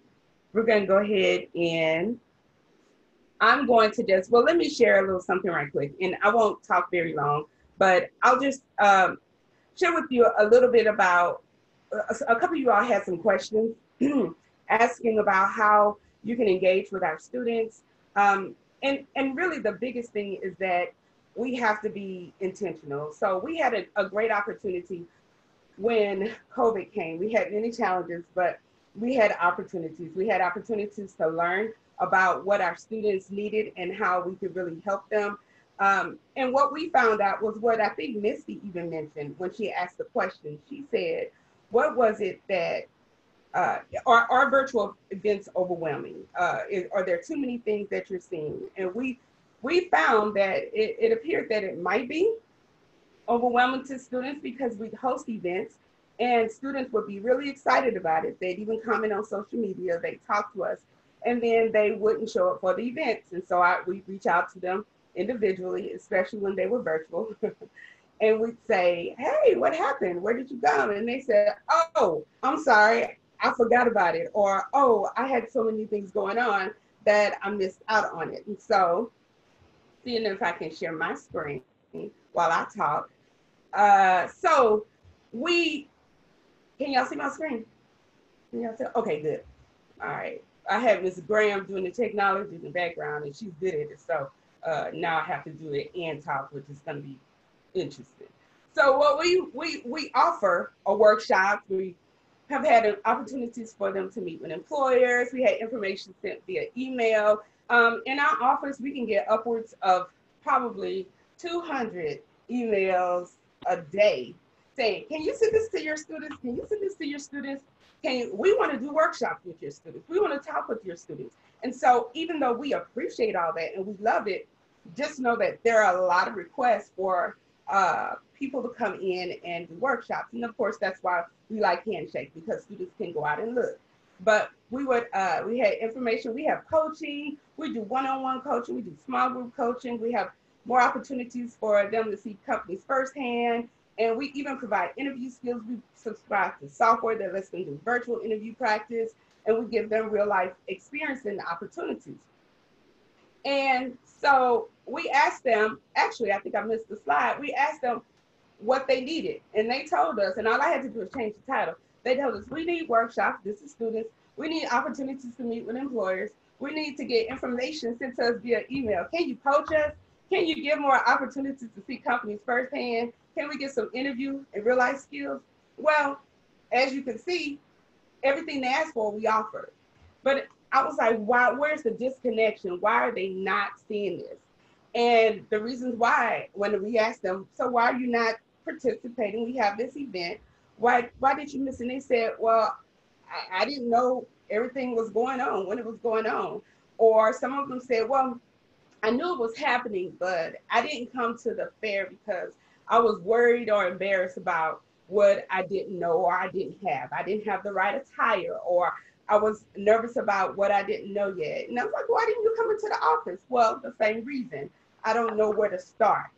Um, they also got information overload. They got too many emails. So they may not tell you this sometimes, but if they get too many emails, they're gonna stop looking at them. They're gonna either click unsubscribe, they're gonna uh, they're gonna halt it, they're not gonna read them. Uh, some of them were honest, they just forgot. And just the whole process for some of the students felt a little bit overwhelming um, because they were focused on their studies. And even though they knew careers were important, they, they did, just didn't know how to filter out the information. And so we decided we're going to address these top things, especially during COVID. We're going to get relevant information to students.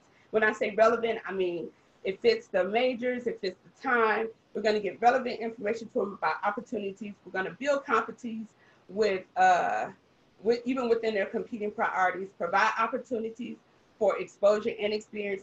And we're going to do this while building capacity within the student body. How do we do that? Well, nothing good is free, right? So we want to, uh, we but we knew that we wanted to be sensitive about the cost of doing business these days. Uh, we decided to create Brave Ambassador partnerships. So this in partnership is specifically for a company to partner with us to have a student as an ambassador on our campus for them. Now, the student has the opportunity to learn about that company, but they also learn things from us like soft skills, interviewing, resume prep, writing so that we can build capacity in that in our organization. That student can now know information, they can go out, they can share with other students, they can share with the club that you also partner with. And so for the Brave Gold sponsorship, and you would be able to have that student ambassador. That ambassador is selected. They would receive uh, a portion of your funds would pay for their stipend, $500 each semester that they would receive as an ambassador. A portion of the funds would also go to club sponsorship uh, that they that you will partner with. So if you're an organization that looks for ag students, maybe you're partnered with the ag uh, department. We want to be very transparent where all of the funds go. The additional funds will go to the clothing closet to remedy the issue of them being able to uh, feel prepared.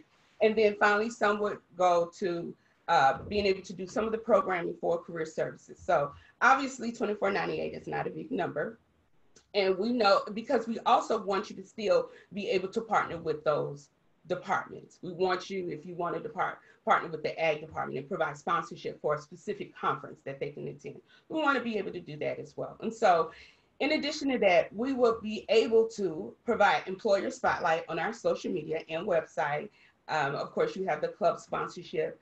We have days for social media takeovers for our Brave Gold partners. That means you sign into our social media, you show the students around so they can know what it looks like. Of course, the workshop, it includes your career fair res- registration. And then we would also be able to send targeted emails uh, to the students that you're trying to target. And of course, interviews. Now, say for instance, you say that's just not quite what we're ready for. Then we have the 1871 package. Somebody get surprised for understanding why we chose 1871. Who, who, who? Put it in the chat. All right. The 1871, which is the Brave Purple Ambassador, is the employer spotlight on, uh, you still get the employer spotlight on social media. The big key thing that you don't have is that individual because we wouldn't be able to give them that stipend, but you would partner with a club on campus and be able to set up meetings with that club and allow that club to also be able to advocate. So I'm not, I don't talk about this a long time because there's plenty of um, opportunity. And of course, we want to be able to send everyone's emails out. We want to schedule every workshop, but to be honest, we don't have the capacity. And we also, uh, every student wouldn't attend. You you schedule five workshops and you'd have one at each one because they get inundated with opportunities to come to events. So if you have not already, the first step you need to do is join Handshake. Here's the link. If you want to click on the QR code, you can click on the QR code and join Handshake. And then uh, you can also go to our website, alcorn.edu forward slash career services, and there will be information there as well. So uh, if you have questions for me, then please, you know how to find me or Miss Graham. Most of you all have been talking to uh, me or Miss Graham. A lot of you have been talking to Miss Graham. And so she's been providing some great information. You can ask either one of us the information you need. So I'll stop sharing. All right. And I see, I see that Kenée Grundy is back. excuse me, and Rashad, and then we're going to we're going to hear from them right quick, and then we are going to move forward. We will have um, I'll come back and tell you introduce Dr. Nave to you all. Okay. Okay, let's try this again. Can you hear me? Yes. Okay. so, hello everyone. My name is Kenée Grundy, and I am a university recruiter at Cargill. And I specifically usually recruit for um, operations, and that is for our protein and uh, grain facilities um, around the US. And this past summer, we honestly had four, I believe it was four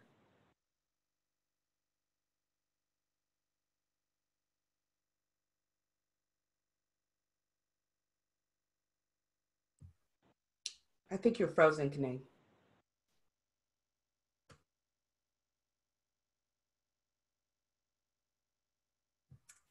Yes, Kenée is frozen. So uh, the one thing before, um, and if she's able to come back, then we will, but uh, probably toward the end. But I'm going to, um, I forgot to play our video for career services. I mean, so I guess Ms. Graham, if you have the chance, can you play our promo? And then I'll uh, come back. Ms. Graham, you'll take it away.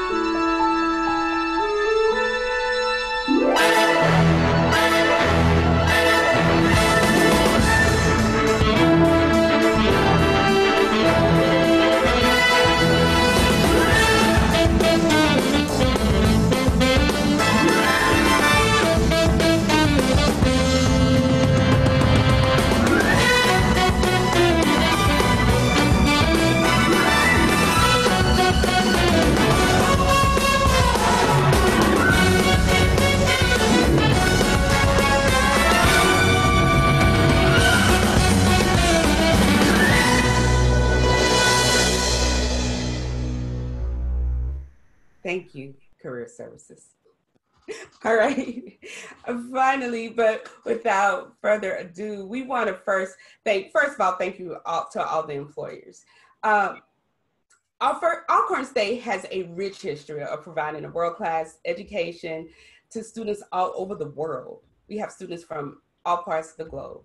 Alcorn's 20th president and first female president, Dr. Felecia Nave, who has a beautiful first name, continues to uphold this legacy of success and pushes the university to greater accomplishments. Let's see a few things about Dr. Nave and what she's done in her short tenure as we prepare to hear from our 20th university president, Dr. Felecia Nave.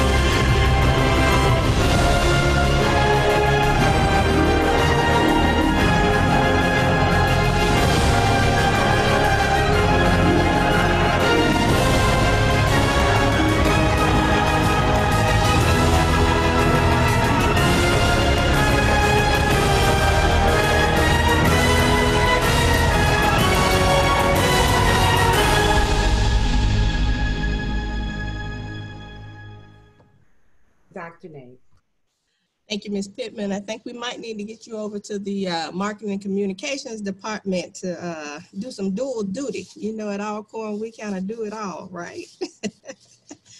well, good morning to everyone, and thank you for joining us for our first virtual employer drive-in.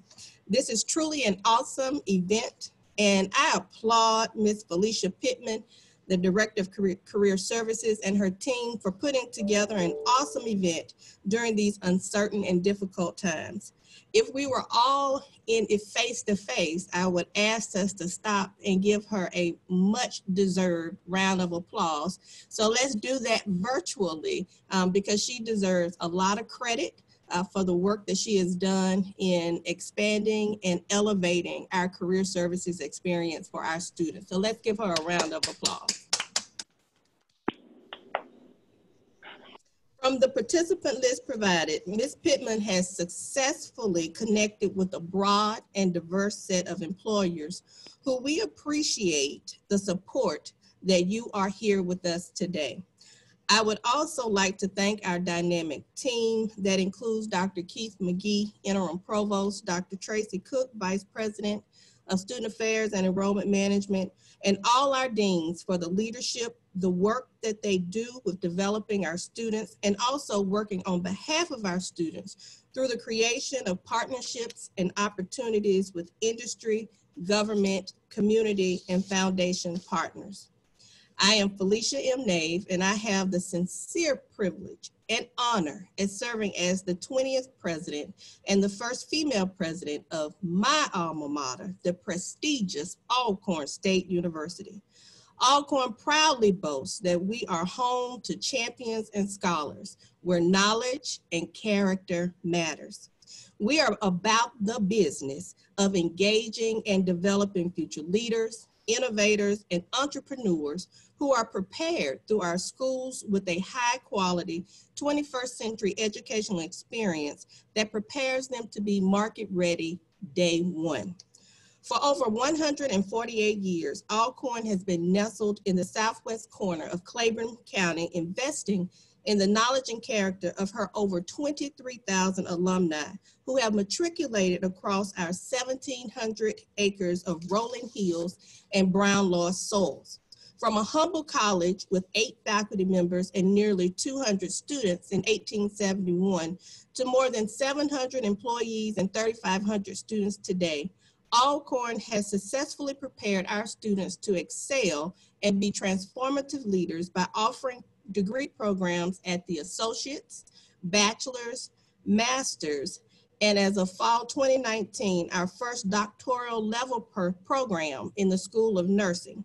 These programs are offered in agriculture, education, STEM, business, and nursing.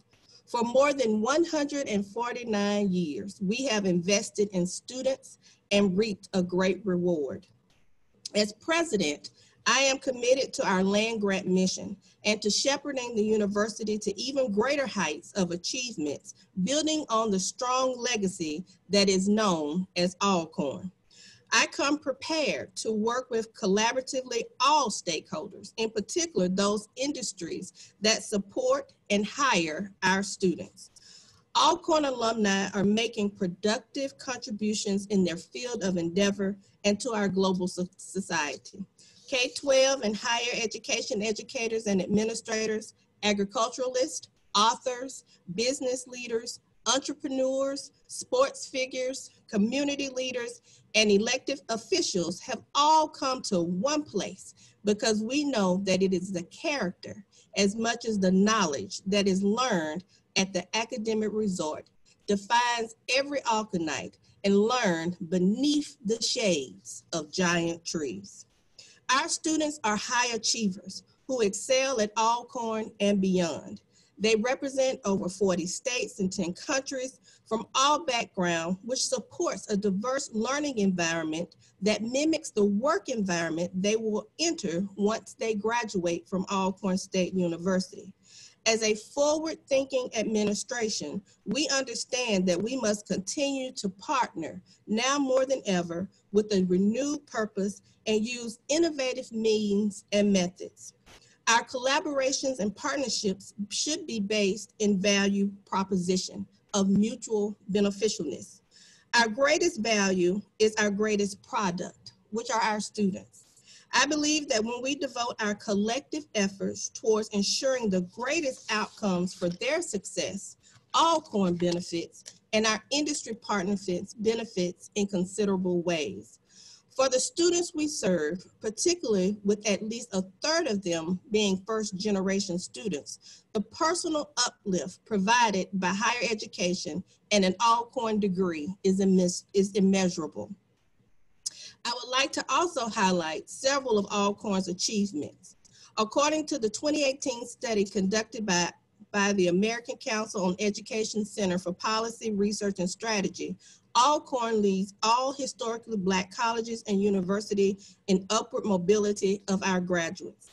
Alcorn students from low income backgrounds and who are first in their family to attend college have a 27.4 greater income mobility rate than their counterparts. This demonstrates that the education gained at Alcorn provides students of color with a stronger economic academic experience and more supportive environments as a whole than do other universities. Alcorn ranks 23rd on U.S. News and World Report's Best Historically Black College and University list for 2020. That same uh, ranking, the university also ranked 36 on the top public schools regional South list and 53rd in the website's new category, the top performers on social mobility South. Alcorn ranked 64th on the first year experience list and jumped seven spots from last year to 82nd in the best regional university South category. And these are just a few of our accomplishments. And I can promise you that over the next few years, you will see Alcorn's ranking levels rise. I share all this quantitative evidence I share all of this as quantitative evidence that Alcorn students are highly trained professionals that are engaged with amazing professors and dedicated staff, alumni, and corporate partners inside and outside of the classroom. As we look toward the future, robust conversations are underway across our academic and student affairs division that focus on the continual evaluation, assessment, and advancement of our curriculums and co-curricular activities. This process involves benchmarking peer institutions, conducting market analysis of industry workforce needs, evaluating best practices, and mapping that against our current offerings and future trends and degree offering needs. Students and their parents expect that when students leave, they are employable inasmuch it's important we establish a strong alignment of our student learning outcomes with our workforce outcomes. At Alcorn, we are moving beyond internal and external silos to communicate more broadly and strategically to achieve improved, improved outcomes for our students and our partners. This is where your partnership with our Career Services Department and our academic enterprise remains vitally important. For example, trending are employer concerns about graduate soft skills such as communication, interpersonal skills, teamwork skills, etc. But as employer concerns change, making sure that at the university we are also addressing those concerns either through our curriculum or in co-curricular activity remains vitally important that we are responsive to your needs. Ultimately, continuously graduating a student who is ready on day one. Additionally, this spring, we officially launched our Student Employment Center through the Office of Human Resources. This office was established and works in partnership with Career Services as an internal mechanism to train and, de and develop our students with the workforce skills employers expect to see in our students. It gives them hands-on experience in their areas of study, whether that is through specific assignments, such as working in marketing communications and developing video or, or writing pieces, are conducting undergraduate research within, within our departments. How can we partner more?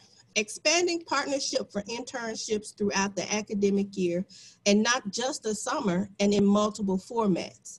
Committing to and participating in departmental, whether that's academic or non-academic speaker series, and identifying scholarship opportunities are also a start. Also, each of our schools have an advisory board. If requested, serving as a member of the advisory team is critical to keeping the dean, keeping our deans abreast of the changes in the field. Also consider developing faculty staff exchange intern programs so that our faculty can become familiar with your industry. Remember, faculty are your first line of contact as they engage with hundreds of students and know not just their academic potential, but also their professional particulars. As we work through our student success group, please be open to new opportunities that may be identified. It goes without saying, remaining connective and supportive of Ms. Pittman and the Department of Career Services are just a few ways that we can remain, continue to grow and expand this partnership.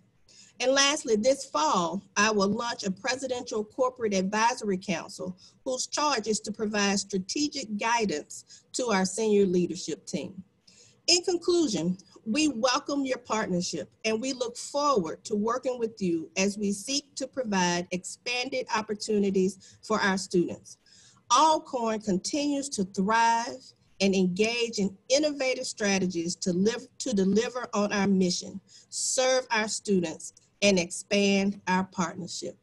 We are Alcorn and we are proud. If there are any questions, I am uh, more than happy to answer them, but if not, I turn it back over to Ms. Pittman.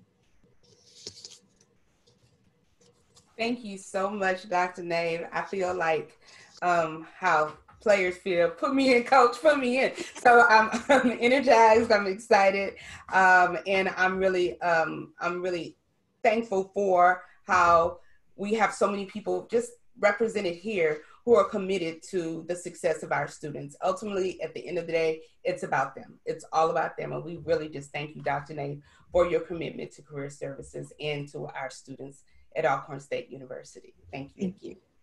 Yes.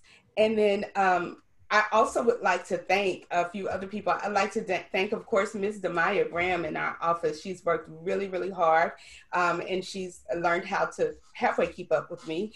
And uh, and and we also thank Ms. Courtney. Courtney is on the line as a as an attendee. She is in career services at LSU, and her, the initial thought came from Ms. Graham said, I think they're doing something with employers. It would be great if we did it. And it's it's changed a little bit, quite a bit from what they do, but we wanted to make it our own. but we thank you for just the idea to bring our employers and our partners together at the beginning of the year. So thank you, Ms. Graham, for bringing that um, those new ideas, and thank you, Ms. Courtney, for um, sharing the information with us.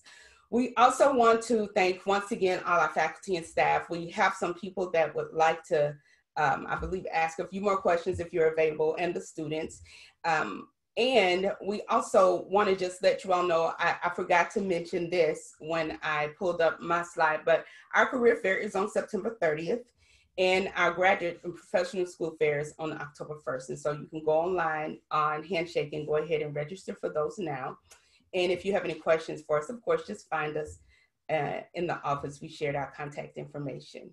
So I'm going to, I don't think I forgot anything. Ms. Graham is going to send me a text if I have. But what I'll do now is I will um, check and see if Kenée and Rashad are ready just to say something. And then I'm going to try to pull up a few of these questions. I had some questions from some of you all, and I want to make sure I can answer them. So, Rashad, are you there?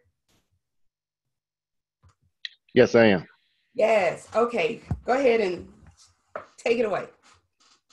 So thanks for the opportunity and, and certainly uh, apologize for the technical difficulties that we've had. So it's certainly a pleasure to uh, meet Dr. Nave for the first time. Uh, it's certainly a pleasure. Uh, and Miss Felecia, uh, Miss Pittman, certainly good job. Kudos to you for an outstanding job that you've done thus far. We've had the pleasure of working with you, I think, for almost approaching one year. Uh, so great to see the uh, accomplishments that you've had. Uh, certainly a sustained approach.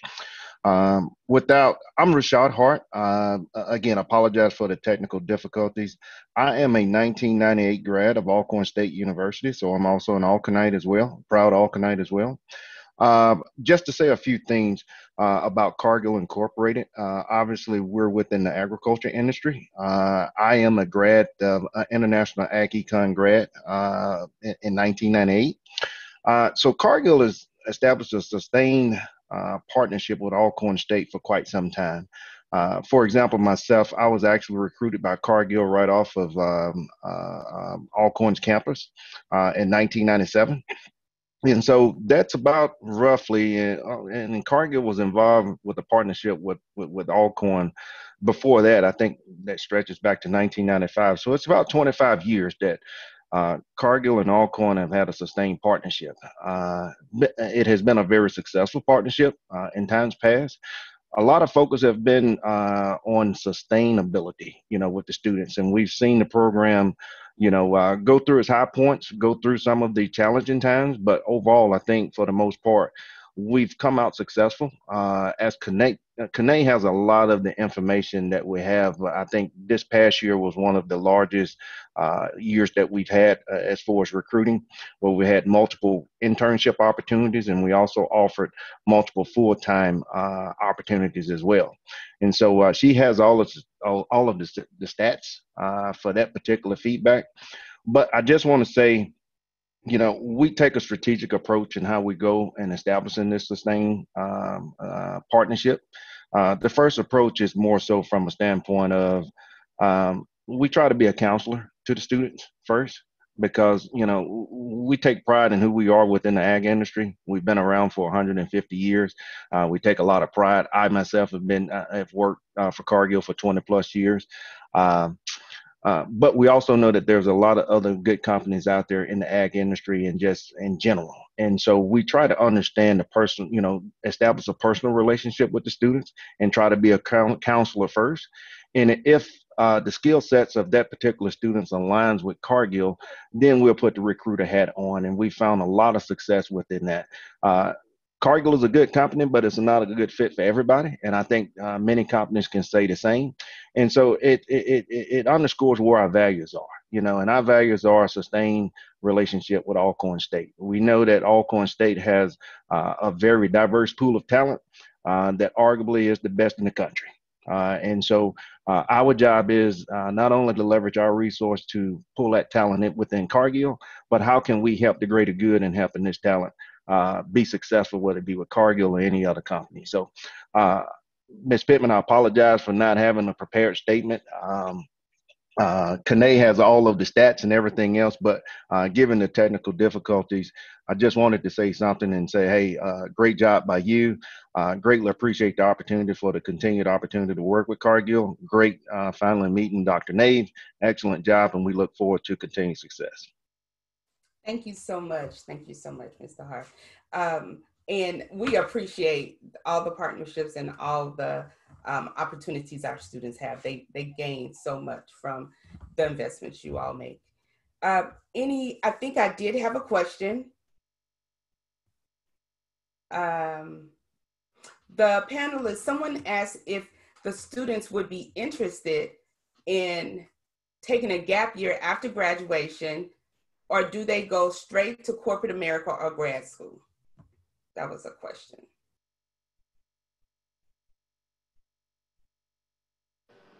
I can answer this. Um, I believe that most students kind of want to go ahead and finish. I know for me personally, um, taking a gap year really wasn't an option just because once you get that momentum going, you kind of want to keep it up. When you take a gap year, you kind of get comfortable working, and then you're like, oh, do I really want to go back to school? Do I really want to wait? I'm kind of comfortable doing whatever I'm doing. So I think most students uh, prefer to either continue in graduate school or go ahead and enter corporate America so they can keep that momentum going. That's a great response. Thank you, Jai. So, Ms. Um, I'll add something here. Um, I think that's a great question. I'm uh, in my assessment of the environment and just kind of knowing higher ed and HBCUs in general.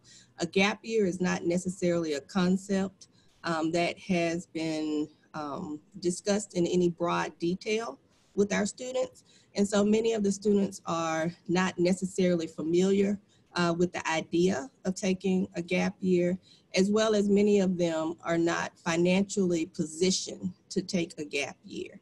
Uh, if, if, you, if you think about it, um, many of our students are still first generation students or students who come from low uh, socioeconomic uh, backgrounds. And that's not to say that as a bad thing, because it's not. It's just the, the reality of the constituents that we deal with.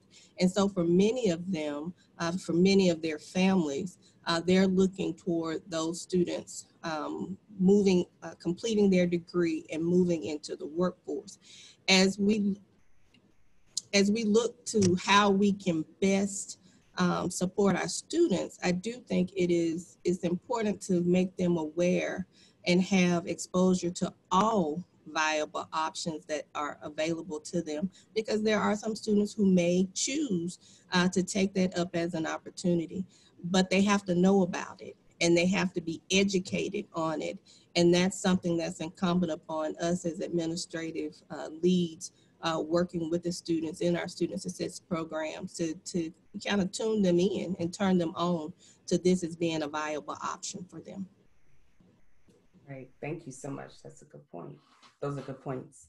Um, there are two questions. I think social media and company websites can help paint a picture of the company. So many of you all said that, their culture and their opportunities. What are good examples to effectively relay information on social media and websites? We know that everybody has a website, but y'all said it had to be good. What does good mean?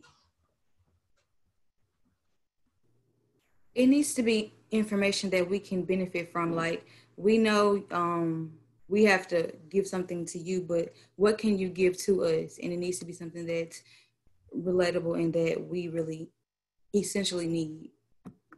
So, so just to piggyback, so you're saying that to tell you that as a 22 year old um, that you provide free free uh, health insurance, that may not be attractive to you, right? Oh, oh, that is attractive and is? okay. good pay. Yeah. Okay, so good pay. So what about if they say tuition reimbursement? That's not attractive to you. That's very attractive. Okay, gotcha. So you're saying that let align line out the benefits that would look good to you all, and but also what else though? What would bring you there? Because sometimes there are things with good good information, but you don't go there. How do we get there? Like what makes the website good of the social media? Somebody else can take that part. Um, I think personally, um, so I I like having fun as well. Um, in whatever I do. So I've, I've you know seen like a, a couple of companies' website where like they put like videos of you know of how the office is, you know, how you know they they take breaks like during office or something like that. That that usually interests me a lot uh, because as much as I want to, you know, you know, do work my work right, I also want to you know have time, you know, for for for fun, and you know, I want a company that you know would would you know accept this that's what all computer science majors say. They want to, no, I'm teasing. But yeah, so you want to have some balance. You want to know that you can come and get, learn and get some growth, but then you also want to enjoy being there and the people you work with. Right, yeah. Good. Okay. So um, the there's a question from Edgar Butler. How important is flexibility in your work schedule with a company regarding in-office and virtual opportunities? How would you view a company that has plans to eventually go back in the office or are currently working in the office. And that he said that pertains to internships and full time. So if you have companies that, um, how do you feel about that flexibility, or how important is it? Um, I think I'm perfect to answer this because my internship was actually a mix of in person and virtual. Um, the first couple of weeks, um, we we started in person because I interned in Evansville, Indiana, and like they had like little or no you know COVID cases at, at the time it started. But um, you know, as things started to you know like COVID you know situation started to increase, we moved to like a virtual platform. So I'm glad like I had like a taste of both virtual and in person because you know it gave me you know the perspective of both, right? And I'll definitely say I, I do love virtual more than in person. But then like I mean that doesn't mean um, you know, I mean I, I really enjoyed like the, the the in person because like, you know, having someone to talk to, you know, because I, I I'm someone who loves asking questions. So the the in person experience gave me the opportunity to meet my manager like 10 times, which was fine with like in a day, asking questions. And, and it's something I really, you know, enjoyed. But then like the virtual experience, you know, you had to like, you know, communicate via emails or Microsoft Teams uh, as when I was using, which wasn't really as enjoyable as like the in-person experience. Gotcha, gotcha. Yeah, a balance of both would be, would be nice. Thank you, thank you, good. And then I think this may be our final one. Um, what type of virtual events would students be most interested in? Would you like subject matter expert panelists? You know, if you're if if you're talking to researchers, you know, you have researchers specific to your area, or you know, yeah, intern testimonials or alumni connections, social media takeovers, application assistance. Kind of tell us a little bit about what would be good for you? What what would you like to see in terms of virtual events? Oh, I can start us off. I think that one of the main ones that a lot of students like to see is social media takeover, where somebody who works in the office uh, for a day just kind of documents what they do. And you can do that through IGT Live on Instagram. Those are a lot of fun, one, because everybody's always on Instagram, and because students get an opportunity to actually see what goes on in the office. I think a lot of students are kind of shocked when they first get to the professional environment because we're used to the classroom, but it's it's two different worlds. So being able to actually see what the um, employees do in the office, that's really fun, as well as intern testimonials. If you can see people who went through what you're about to go through, that's also very engaging. Those are just two examples, but all of the things that Ms. Pittman named are great for um, examples. And the last thing I'll say is just be very engaging. When we go to these events, since they are virtual, we need our attention captivated. Um, like students, you know, our attention goes like that. So be engaging and keep it fun and light, like how this event is. I do. I would like to go. Go, go ahead. Oh, you go ahead. All right. I would like. Um, and, and then we're gonna keep it for uh, Alexis and Attaboy. We'll keep it really short because we're almost out of time. But go ahead and share with us. Uh, for me, like what Josh said, very much engagement because, of course, we're on a computer and, of course, we're at home. So, engagement is a big part about well with virtual events because of course we're on the computer so i would say engagement for me and um, i think the intern testimonial that would be that's very attractive to me because you know you're listening to your peers talk about the experience that they had. And of course, if they had a good experience, you know, I, I feel like I'm going to have a good experience with my peer here that I've been knowing. That's just like what Ms. Pittman said, the um, intern, um, the intern, um, ambassador program. What is it? Yeah, the in, ambassador that I feel like that would be very attractive. I think if I could, of course, you have all these interns that are you know offering an email and everything, but if I can actually talk to someone that I know, like, hey, I, I know you and you're in this program, tell me more about it. Did what was your experience like? You know, intern ambassador would be very beneficial because I would engage into that. Like, hey, what was your experience like? I think I want to have that same experience. So of course, let me learn more. Thank you, thank you. Yeah, and just to add on um, specific topics that students are most likely interested in as of right now, um, I'm actually the current president of NSBE, and I actually sent out like a Google Forms um, earlier to see what topics students are interested in. And the one that stood out most was how to stand out in a virtual workspace, right? Because most of the interviews right now would, you know, definitely be virtual, and you know, students are, you know, really not familiar are comfortable with that. So holding workshops in relation to that would definitely help, um, you know, especially during these times. Great, great. That is wonderful. All right. Well, thank you so much. We're um, going to uh, close out. I did want to know how do you all find out about events on campus though? How do you find out about what's going on in career services or if an employer is on campus or if there's a hiring event? How do you find out? What are the best ways? I would say for me, I it's three things, right? I use LinkedIn a lot, so I usually find out on LinkedIn. I usually find out on Handshake and also word of mouth. So that, those are the three main sources for me. Good, good. So LinkedIn, Handshake, word of mouth. Mm-hmm. Uh, I would say the same. Uh, for me, one of them was my email and the flyers uh, that was put out, and also like you said, word of mouth. Uh, it got around very quickly. Right. Same for me, email, flyers, word of mouth. That's good. That's good.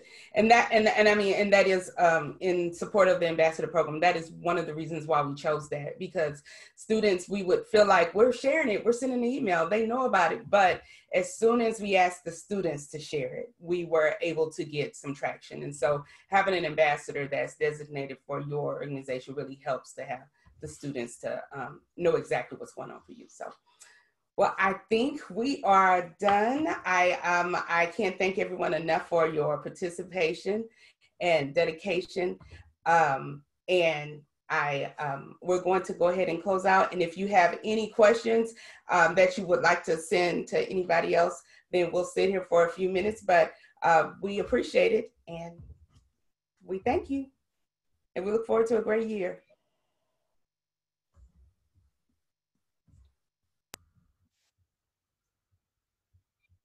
Thank you. Great job. Thank you. Thank you, everyone. Thanks, everyone. Bye. Bye. Bye-bye. Thank Bye. you, Career Yep. Services. Thanks, everyone. Job. Great job.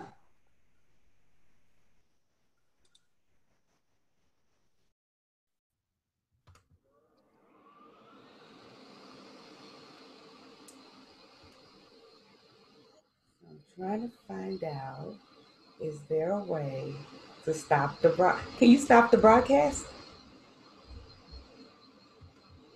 It doesn't say stop it. It says pause, stop recording. Um, That's it. actually, you know what? I'm gonna make you host while I'm trying to.